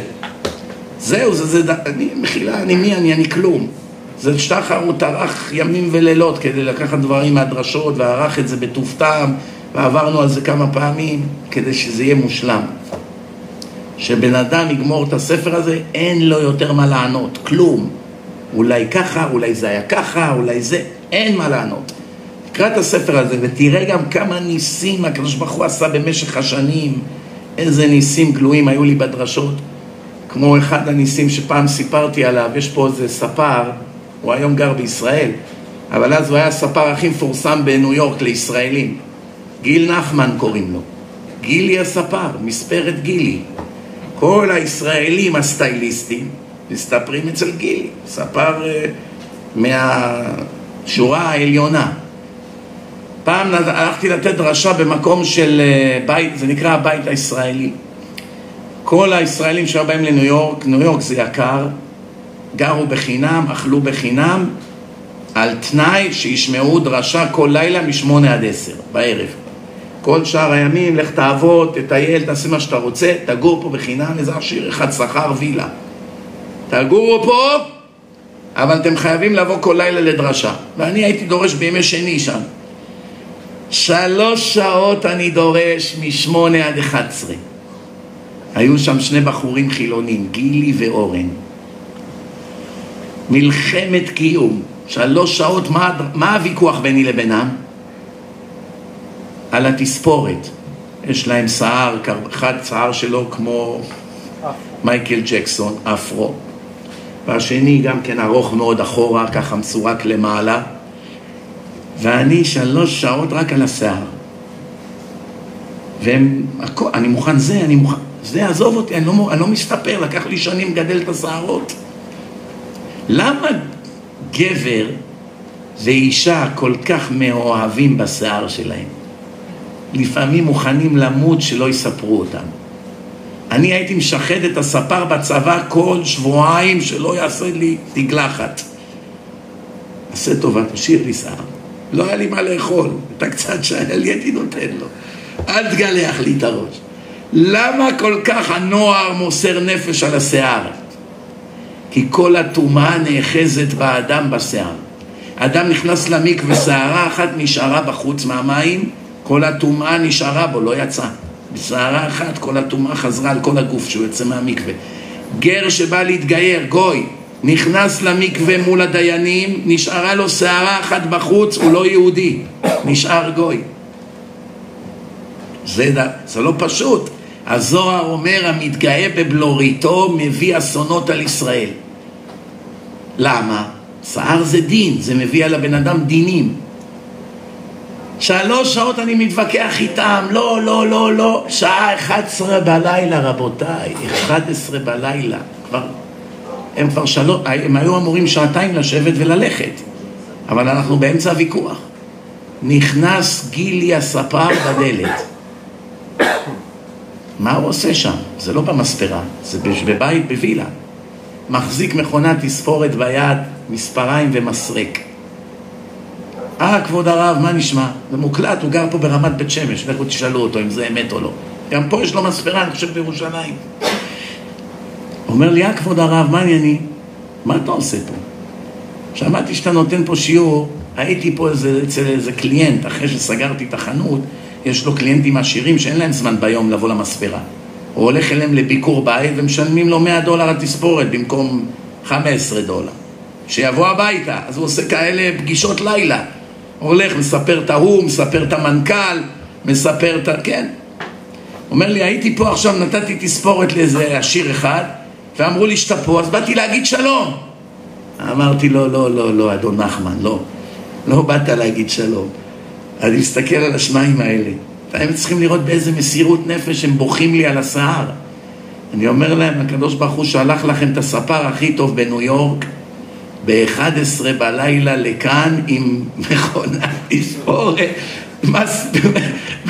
מספריים ומסרק, ולא תסתפרו! מסתכלים אחד על השני, אומר אין, אין ברירה. זה יותר מדי נס גלוי. אמרתי לו, מהר, מהר, לפני שהם התחרטו. הכניס אותם למקלחת, סיפר קודם כל את המייקל ג'קסון הזה. ככה. פתאום אני שומע, אני בינתיים מתווכח עם היוסי הזה על עניינים, לבוא לישיבה וזה. פתאום אני שומע, הוא צועק, לא! אבל לא ארוך! הוא יוצא ככה, טוב, נהיה לו ראש בגודל של כדור טניס. היה כזה ראש גדול. אתם מכירים את הכבשים שמספרים להם את כל הצמר, איך נראים כאלה רזים? אפילו אני התביישתי. אמרתי, וואלה, סיבכתי אותו חזק, זה... הוא יצא מהמקלחת, איך הסכמתי? בוכה! דמעות! וואלה, אם היה לו מת לו ילד, לא עלינו, לא היה בוכה ככה. שנים גידלתי, איך שמעתי בקולך? אמרתי לו, אל תדאג, זה תכף הטומאה תרד, אתה תתרגל. עכשיו ההוא הלך, הסתפר, ההוא ברוך השם לא צעק, לא עשה סקנדלים. עכשיו דיברתי לפני כמה חודשים בחיפה, זוכר שם, בדרשה הגדולה שם בחיפה, איך הבחור עלה לבמה והתחיל לדבר? אז באמת עברו שנים, הוא בא לארץ, שניהם נהיו תלמידי חכמים גדולים, התחתנו, הקימו בתים חרדים לתפארת. בזכות אותו לילה, נס גלוי. היינו, דיברנו בחיפה, פתאום אני קולט אותו בקהל, כובע שחור, זה בקדום, אורן, עם כובע שחור, בגדים של אברך. אמרתי, וואלה, אני לא מאמין, הנה אורן, זה שסיפרתי לכם על התספורת. עלה לבמה הרב מאיר אליהו נאמבר 2. זה מוקלט, זה, זה אצלי באתר, אתם יכולים ללכת לדרשה הזאת. איפה זה היה? טירת הכרמל? איך קוראים לבית כנסת הענק הזה שדיברנו כמה, כמה פעמים? איך? מוצקין, סליחה, קריית, תסתכלו, דרשה של לפני כמה חודשים בקריית מוצקין, הוא עלה על הבמה, הוא דיבר איזה עשר דקות כמו מכונת ירייה. נהיה לי סחרורת. ואני בכלל, הראש שלי באותו לילה עם התספורת, איך הוא יצא מהאמבטיה בצעקות. עכשיו השני, אמרתי לו, בוא לישיבה. הוא אומר, אני עובד, אני חייב להיות בעבודה. אמרתי, הוא היה עובד במאפייה. אני אומר לו, אל תדאג, אני מכיר את בעל המאפייה, אני אדבר איתו על הבוקר. תבוא. אני יודע, אם אני לא מביא אותו עכשיו לישיבה, מחר הוא ישכח הכל. לא, לא, אני מבטיח לך יום ראשון, אני מגיע. אמרתי לו, איזה יום ראשון אתה תשכח שהייתי פה. אומר לי, לא, כבוד הרב, אני לא אשכח. בסוף אמרתי לו, כמה כסף יש לך בארנק? בודק, אומר 200 דולר, למה? אני אומר לו, תן לי את הכסף עירבון. אם אתה תבוא יום ראשון, איך שאתה נכנס לישיבה, אני נותן לך את ה-200 דולר. אם אתה לא מגיע, אני מכניס את זה בקופת צדקה של הישיבה. אתה מסכים? אומר לי, זו משכורת שבועית שלי. זה היה לפני קרוב ל-20 שנה. אמרתי לו, זה ככה, אתה, בוא, תוכיח שאתה רציני. אומר, טוב, קח. תן לי את כל ה-200 דולר. יום ראשון אני מחכה, תשע, עשר, אחת עשרה, שתים עשרה, אחד בצהריים, עוד לא בא. אחד וחצי, הפסקת צהריים. אני יושב עם הגמרא שם בישיבה, ריק. פתאום הוא נכנס. אומר, כבוד הרב, כן, יוסי, קוראים לו יוסי. גם הוא נהיה רב גדול פה. יש לו זיכרון פוטוגרפי, גם גאון, היה בישיבת כף החיים, זה כבר כף החיים, שזו ישיבה מעולה, הייתה קטנה עליו, מרוב שהוא גאון. הוא בא אליי, אני אומר לו, וואלה, שיחקת אותה. היה רציתי את ה-200 דולר, הנה, לקח את הכסף, תן את הכסף. אומר לי, כבוד הרב, אתה יודע למה אני פה? לא אשכח את המילים האלה, מצלצלות לי באוזן. כבוד הרב, אתה יודע למה אני פה? אני אומר לו, למה? אומר לי, בשביל ה-200 דולר האלה. חזר בתשובה, נהיה צדיק יסוד עולם. עת רצון, ניסים גמורים. היו לנו מאות ניסים כאלה במשך השנים. עוד אחד ועוד אחד ועוד אחד. הרבה דברים מופיעים פה בספר שמאוד מחזקים, אבל כמובן יש את כל ההוכחות ואת המוסר. שאדם יבין מה מצבו, רבותיי, הנה הספר, הוא מחזיק אותו ביד, תראה להם. פה שחר בחוץ. דיסקים כמובן יש לכם תמיד בחינם, קחו דיסקים, תחלקו. יש כאן גם יואל פה שעומד בחוץ, הוא אוסף כסף לדיסקים, לכן הדיסקים בחינם. יהודים טובים, תורמים, ואנחנו מחלקים דיסקים בחינם. מי שרוצה לתרום ליואל, הוא עומד פה עם הדוכן בחוץ. ונציל כמה שיותר נשמות. אני רוצה בחמש דקות האחרונות, לפני שמסיימים, רק לקרוא לכם קטע כדי שנבין. אחד הדברים היום שגורמים לשנאה זה לשון הרע, גניבת דעת, הונאות, רמאות, כל הדברים האלה שקורים כל רגע ורגע. לבן אמר, ותגנוב את לבבי. לבן אמר ליעקב, גנבתם לי את התרפים, עבדתם עליי. איך אומרים? אתם עבדתם עליי. לבן אמר לו. הוא רץ אחרי התרפים האלה שבוע. שלושה ימים אחרי שיעקב ברח לו, הוא יצא למסע, ארבעה ימים הוא רודף אחריו עם סוסים. כדי לתפוס איזה פסל מטופש. ואיך ברחתם לי ככה? אז תראו מה כתוב כאן, תשמעו, אני אקרא לכם. יש טועים לחשוב שמותר לגנוב חפץ או ממון מן הגוי. עזוב, כבוד הרב, זה גוי, זה ערבי. מצווה לגנוב. מה, הוא מחבל, מה? הוא מראה לך שהוא שונא אותך בעיניים. מה, לא מצווה לגנוב ממנו? אבל הפסק הוא שזה אסור. אסור לגנוב מערבי. מה עם נאצי? גם אסור לגנוב. סתם גוי, אסור לגנוב. שומעים? ומקורה ממה שכתוב בתורה, לא כתוב בתורה שכתוב לא לגנוב ולא לגזול, לא כתוב עמיתך, או עמך, או רעך. ואהבת לרעך כמוך, אתה חייב לאהוב יהודים שהם רעים שלך, רעים לתורה ולמצוות. לא שונא דעת, שונא השם. אין להם שום מצווה לאהוב אותם, להפך, מצווה לשנוא אותם. תסתכלו באורחות צדיקים, כתוב מפורש. מי שרשע ושונא את השם, דוד המלך כותב עליו בתהילים, משנאיך השם אשנא, פסוק מפורש. דוד מתרברב בזה, שאני שונא את הרשעים ששונאים אותך. הבוגדים, השמאלנים, שונאי התורה, עוקרי התורה, אלה שנלחמים בישיבות, אלה אסור לאהוב אותם, מה פתאום? ואהבת לרעך, רעך למצוות, גם אם הוא לא צדיק גדול, אבל שומר שבת, מניח תפילין, בא לדרשות, יש לו מזוזה, מנשק מזוזה, הוא שייך לעם ישראל, הוא לא אויב של עם ישראל מבחינה רוחנית. שנאמר לו לגנוב, לא כתוב לא תגנוב מרעך או מאחיך, משמע אסור לגנוב גם מהגויים. ואדרבה, יש עוד דבר שנקרא גנבת דעת. מי יודע מה זה גנבת דעת? עונה, בדברים, עובדים על בן אדם. בא איזה ערבי אליך לחנות, כיף חלק יא יוסוף, חמדללה. אומר, יש לך בשבילי טלפון אייפון חדש? יש לך אחד מש, משופץ, ניקית, זה, החלפת בפנים כל מיני דברים, החלפת לו זכוכית, אין שריטות, אבל הוא כבר בן שלושים שנה טלפון. אבל עוד בימים של פעם. אומר לו, כן, הנה אייפון 4. כמה? 50 דולר, לא שווה סנט. וואלה, וואלה, יפה, כל הכבוד, כך. גניבה, עונה, גניבת דעת. לא רק זה גם, לבוא להגיד, נותן לכם עד איפה זה הולך. יצאת מבית הכנסת, מגיע איזה מישהו לכיוונך. אתה לא הלכת לכבודו, אתה הולך הביתה. אומר לך, וואלה, יצחק, לא היית צריך לצאת לכבודי באמצע התפילה. עכשיו אתה אומר, מה אכפת לי לתת לו לחשוב שיצאתי לכבודו? מחר אני אצטרך איזה טובה או מכונאי, אני אבוא אליו למוסך, אני ארוויח מזה, לא? ומה אכפת לו? הוא לא יודע שלא יצאתי בשבילו, בוא נשחק אותה. וואלה, הנה, היי, אבי, אל תגזים, מה, חבר כמוך אני לא אצא לכבודך? גנבת דעת. יש המון סוגי גנבת דעת. עוד גנבת דעת, אני עוד חמש דקות אצלך. הוא בכלל ב-GPS 40 דקות. זה המחלה הישראלית. הנה, הנה, אני מעבר לרחוב. עוד לא יצא מהבית. זה כבר לא בוש... אין בזה בושה כבר, כי התרגלו, כי כולם ככה.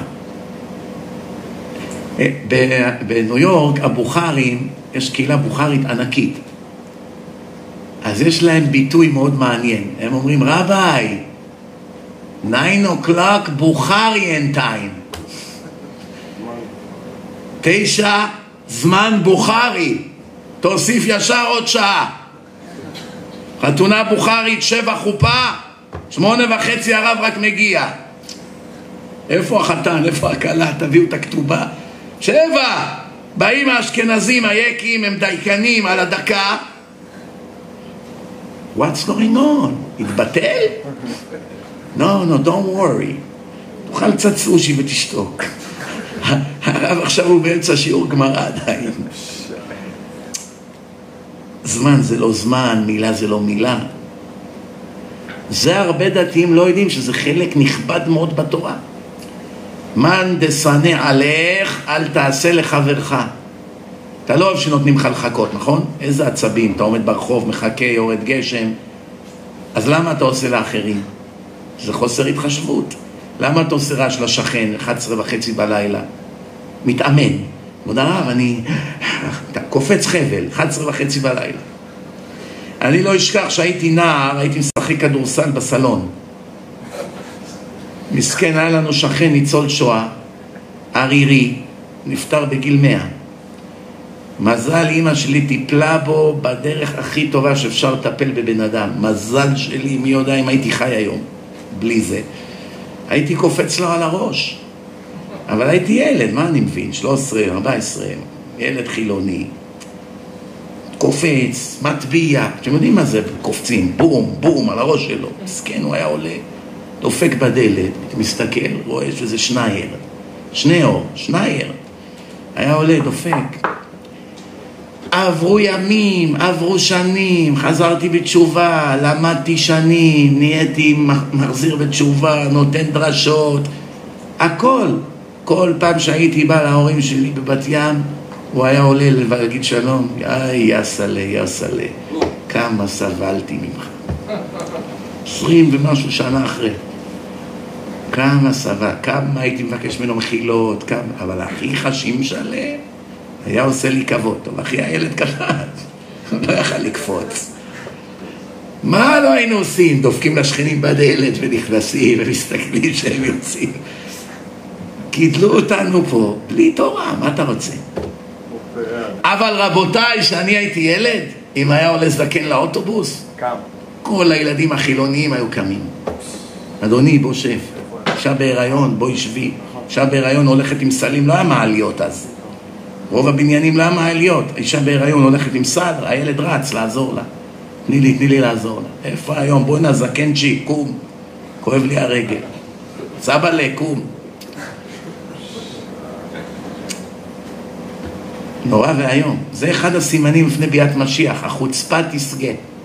לא סתם אומרים פני הדור כפני הכלב, הסברתי לכם שהכלב זה החיה הכי חצופה שיש. עז פנים. מה מיוחד אצל כלב שחכמים משווים אותנו בדור האחרון פני הדור כפני הכלב? למה לא אמרו פני הדור כפני החזיר? אלא שכלב לא עשית לו כלום מתקיף אותך. סתם. היום, אתה רק עובר ליד מישהו, יא חרדי מסריח. מה עשיתי לך? בום! סיפר לי איזה גאון עולם, צדיק יסוד עולם. הוא הלך ברחוב, עצר לידו אוטו, יצא איזה חילוני בריון, הכניס לו אגרוף, שבר לו את המשקפיים בין העיניים. צריכים להרוג אתכם החרדים, לא יודע, הוא זרק לו איזה משהו והלך.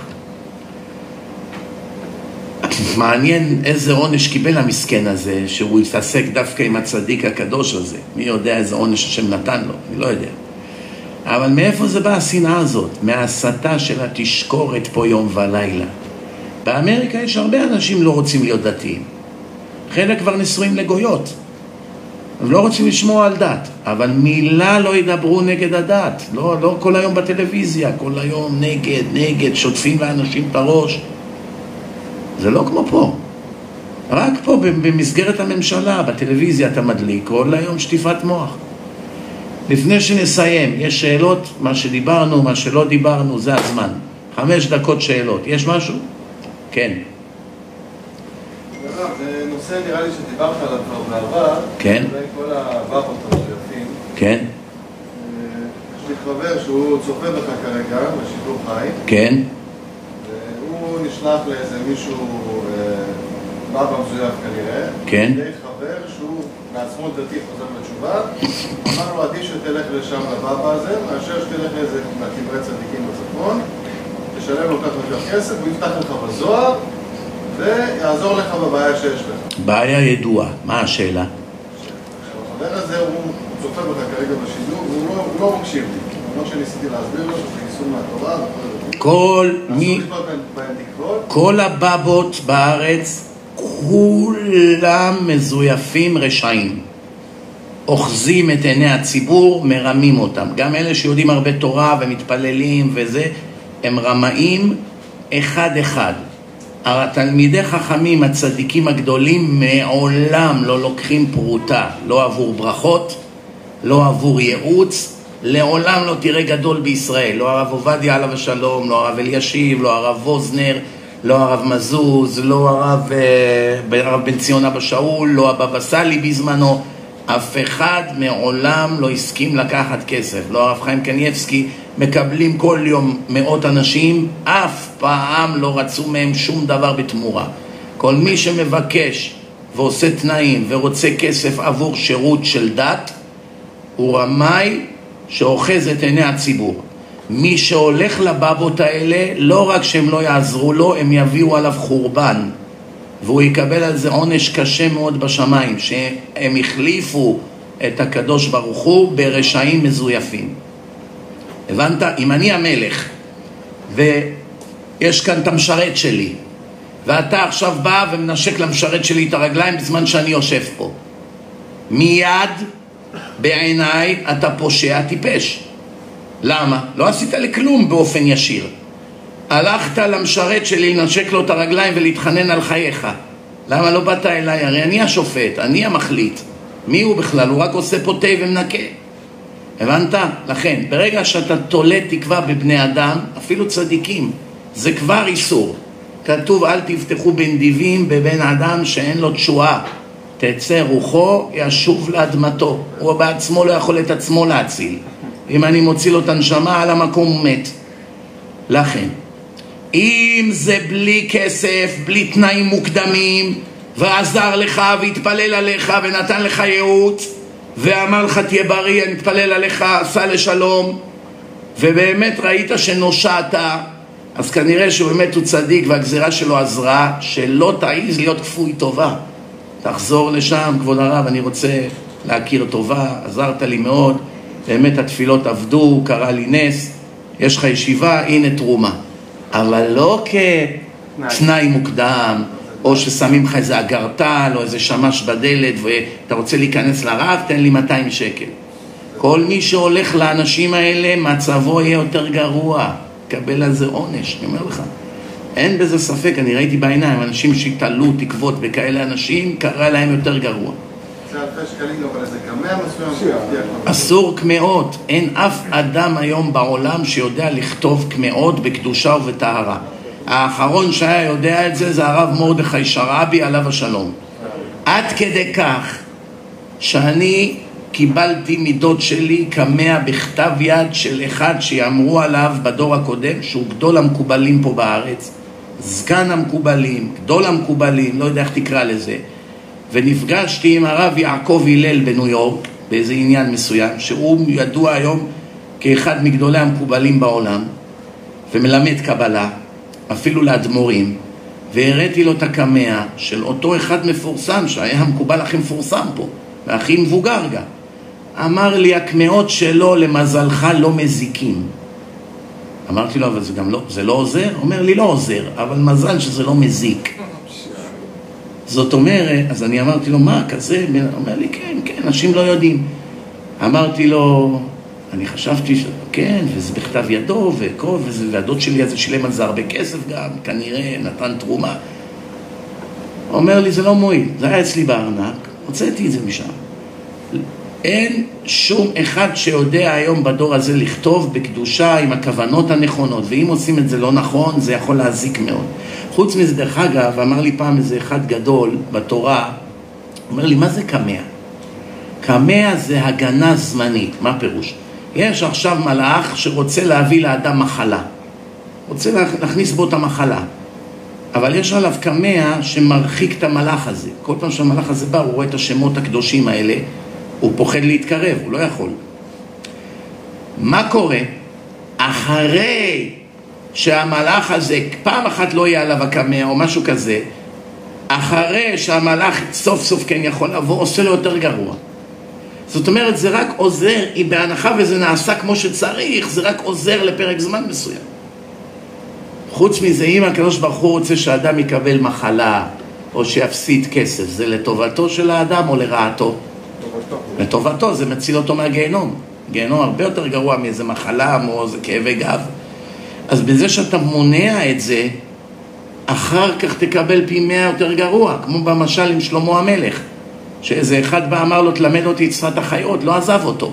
לימד אותו את שפת החיות, הוא שומע את התרנגולים מקשקשים ביניהם, שהיום יבוא מלאך המוות וייכנס בבית של הבעל הבית שלנו. הלך, שם סורגים, כל מיני דברים, סגר את הדלת, הכל. אחר כך אמרו, היום הבן שלו, של הבעל הבית, ישבור את היד. אמר לו, היום אתה לא יוצא מה... היום אתה לא יוצא מהבית. כל פעם היה שומע אותם, מגיב בהתאם. אומר, מה שלמה המלך אמר לי, לא כדאי לך לדעת את שפת החיות. כבר ניצלתי כמה פעמים. בסוף הוא שמע, היום מלאך המוות יבוא לבעל הבית שלנו, לא משנה איפה הוא יהיה, ויקח את נשמתו. מה עכשיו הוא יעשה? כבר לא היה לו מה לעשות. הוא רץ לשלמה המלך, אל תשאל, חרב עלי עולמי, נשאר לי עוד כמה שעות לחיות. אומר לו, אמרתי לך, אתה רואה בפעם הראשונה, הקדוש ברוך הוא רצה לשלוח לך גנב.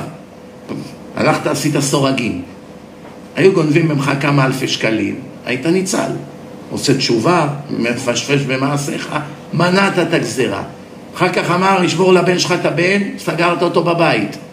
מנעת את הגזירה. עכשיו כבר אין לך מה לעשות. איך תמנע את מלאך המוות, ייקח את נשמתך. במילים אחרות, כל הקמעות האלה זה הערמה נגד רצון השם.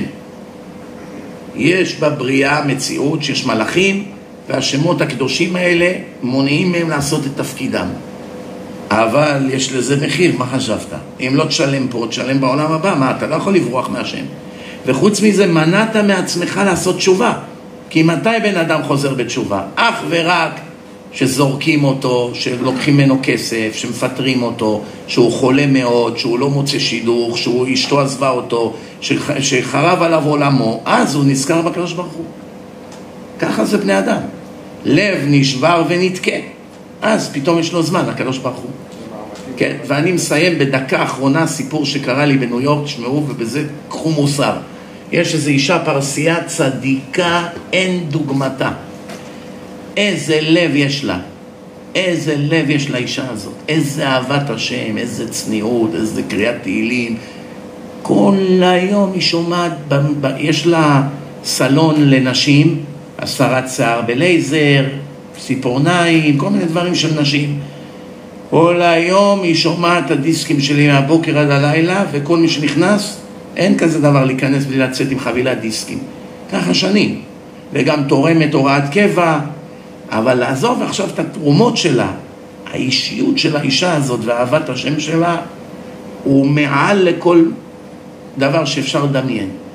יום אחד היא מטלפנת לי בטלפון אחוזת אימה, בעלה. רביי! מה קרה? אני צריכה עשרים מזוזות. מה, אין לך מזוזות? צדיקה כזאת, מה עכשיו היא צריכה עשרים מזוזות? לא בשבילי, בשביל אחי. אני אומר לה, מה, אחיך לא היה לו מזוזות עד עכשיו? או שהיו פסולות? לא היה לו מזוזות. פרסי בלי מזוזות? איפה יש כזה דבר? ספרדי בלי מזוזות? מילא אלה מאירופה, שמונה, תשע דורות כבר חילונים. השם יצילנו, מסכנים, הם תינוקות שנשבו, לא יודעים כלום. אבל נדות המזרח, כמה זמן אנחנו לא דתיים? דור שניים, זהו. הפרסי הזה, אימא שלו, סבתא שלו היו דתיות, מה? איך מציאות של ספרדי להשים מזוזות? אני אומר לה, הוא לא רוצה לשים מזוזות. No, he's against the religion. הוא נגד הדת. אז מה קרה עכשיו הוא רוצה לשים מזוזות? כנראה קרה משהו. מה, הוא חולה? גילו אצלו את המחלה? אומרת לי, וורס, יותר גרוע. מה יכול להיות יותר גרוע מהמחלה? אני אומר, וואי, וואי, וואי, אולי היה לזה תאונה, נהיה נכה, משהו. אני אומר, מה קרה? אומרת, נכנסו אליו למשרד אתמול FBI, IRS, סוכני מס מהממשלה עם סוכנים של ה-FBI. אדוני, שים את הידיים שלך מאחורי הגב, ליד כל העובדים שלו. הזיקים שמו לו על הידיים, ליד כל היהודים והגויים שעובדים אצלו. אתה עצור על הלבנת כספים, העלמות מס, כל עשרים שנה מאסר, זה לא ישראל. שנתיים פה במעשיהו ורואים הרצאות הרב מזרחי על המסך. בין משחק שש בש לשני. כלא בארצות הברית, אם יש מה שאני לא מאחל לכם זה זה. יש שם מפלצות אדם.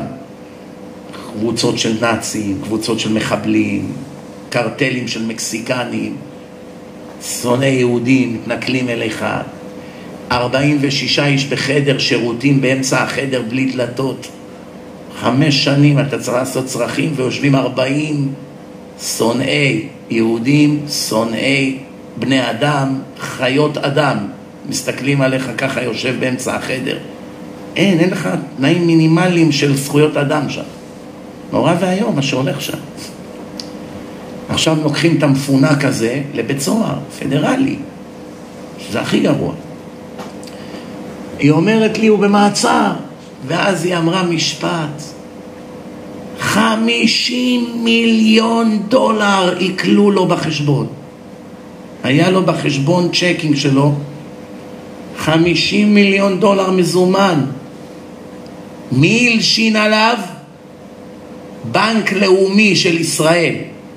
שם היה הכסף, הם קראו ל-FBI, יש פה תנועות חשודות בחשבון, כדי למצוא חן בעיני הגויים, הנה אנחנו בנק שטינקר, אנחנו מוסרים לכם אפילו ישראלים ויהודים וכאלה. גם היום, אתה, אתה לא יכול להוציא כסף. אתמול, כמה זמן, כמה זמן לקח לי להוציא קצת כסף אתמול מהחשבון בנק בירושלים? כמה זמן חיכית באוטו? שעה וחצי. שעה וחצי. שעה וחצי. לא נותנים להוציא כסף. מתקשרים, מחכים עשרים דקות בהמתנה, שואלים שאלות, כאילו באת לשדוד את המאפיה פה. זה לא החתימה שלו. זה לא החתימה, שלוש פעמים, זה לא מתאים החתימה, גברת, אני עושה את העבודה שלי. מערערים לך את החיים. ממי הם מפחדים? מממשלת ארצות הברית. אוחזים אותם ככה, מאיימים עליהם, נסגור לכם את הרישיון עבודה. הם הלשינו עליו, בנק לאומי הלשין עליו. אמרתי לה, חמישים מיליון דולר, פתאום היא נתנה צעקה, לא ידעתי שאח שלי כזה עשיר. כל פעם שבאתי אליו, יש משפחה ענייה, אין להם אוכל לחג. יש בן אדם רוצה ללכת לישיבה, אין לו כסף. יש אחד רוצה להכניס את הילד שלו לישיבה, אין לו כסף. כל פעם אמר לי, עזבי אותי את והמצוות שלך. אני בעצמי תפרן. את יודעת איזה קשיים יש לי בביזנס? חשבתי, אין לו מה לאכול. אומר לי, אני לא משלם את החובות שלי, אני לא עומד בתשלומים. עשרים שנה הוא מרמה את אחותו הצדיקה, ולא הסכים פעם אחת לתת צדקה לאיזה מסכן. הגיע זמנו. כל מה שהרוויח ב-20 שנה, 50 מיליון דולר, השם לקח לו את הכל, ואין לו עולם הבא. ואין לו עולם הבא. הוא הולך לגיהנום שהוא מת, רק יתחיל הצרות שלו שהוא מת. ועכשיו הוא יושב בכלא עשר שנים, או עשרים שנה, זה אמריקה, זה לא שנתיים פה. על עבירות פדרליות זה יכול להיות שלושים שנה גם.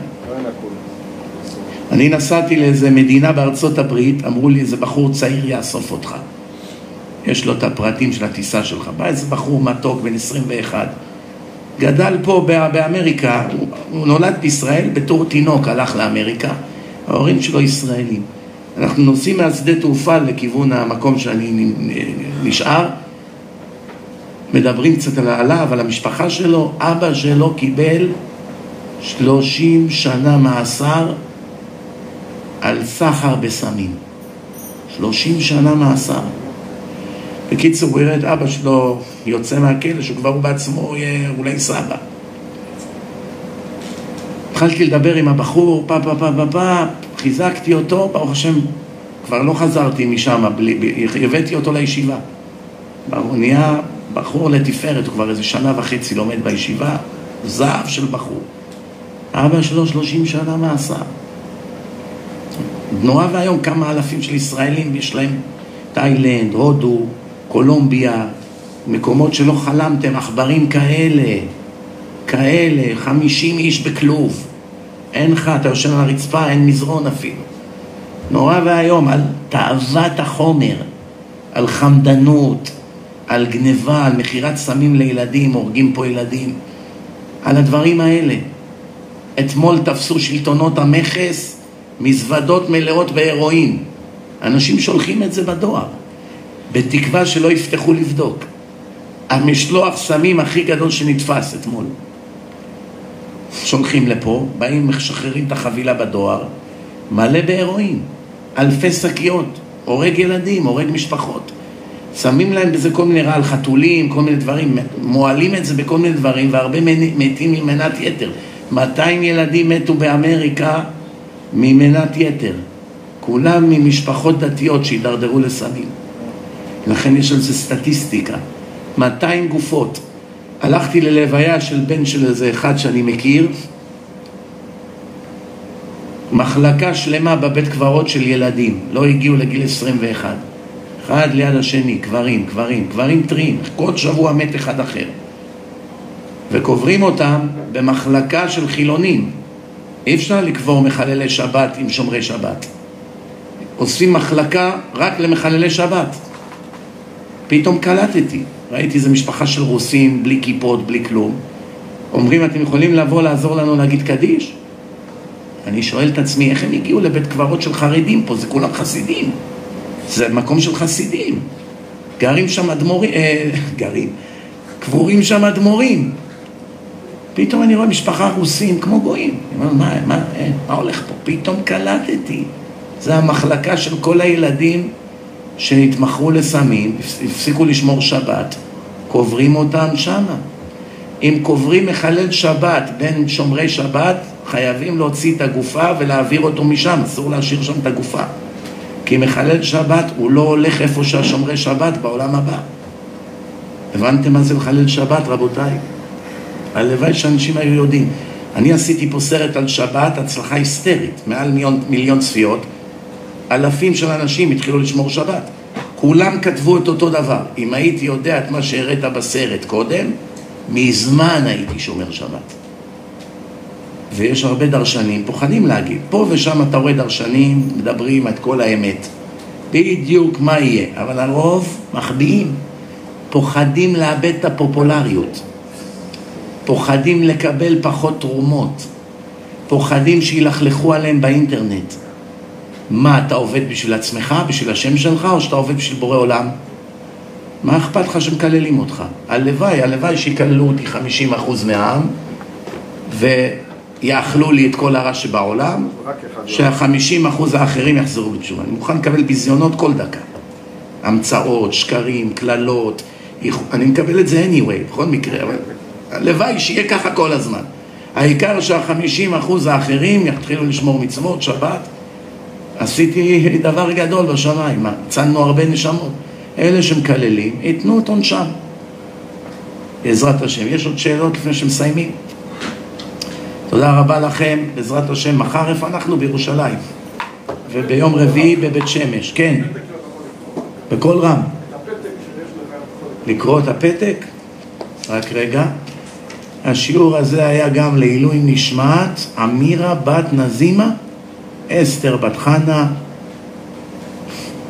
אם אפשר לתרום לפעולות התורניות, מה הפירוש? לא הבנתי. אה, לתרום פה לבית כנסת?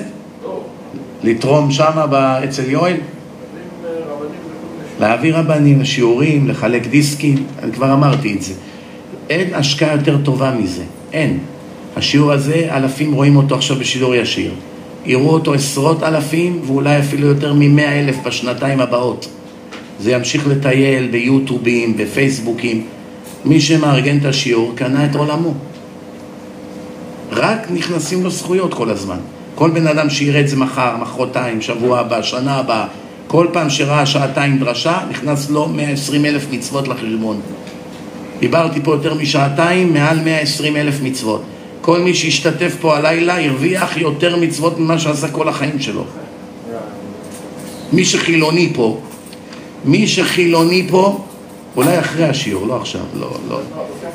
כן, ביציאה. אה, מי שחילוני פה ולא שומר מצוות, רק מה שהיום הוא הרוויח בשעתיים וחצי של שיעור זה 150 אלף מצוות. ייתכן שכל החיים שלו הוא לא עשה אפילו אחוז מזה.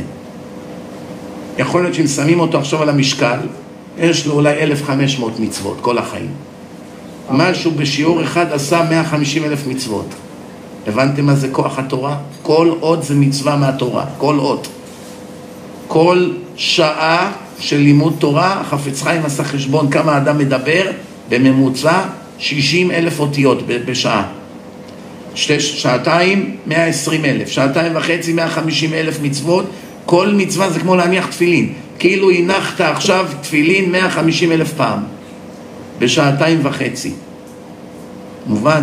אני מקווה שתתחילו להבין מה הולך פה. ברוך אדוני לעולם, אמן ואמן.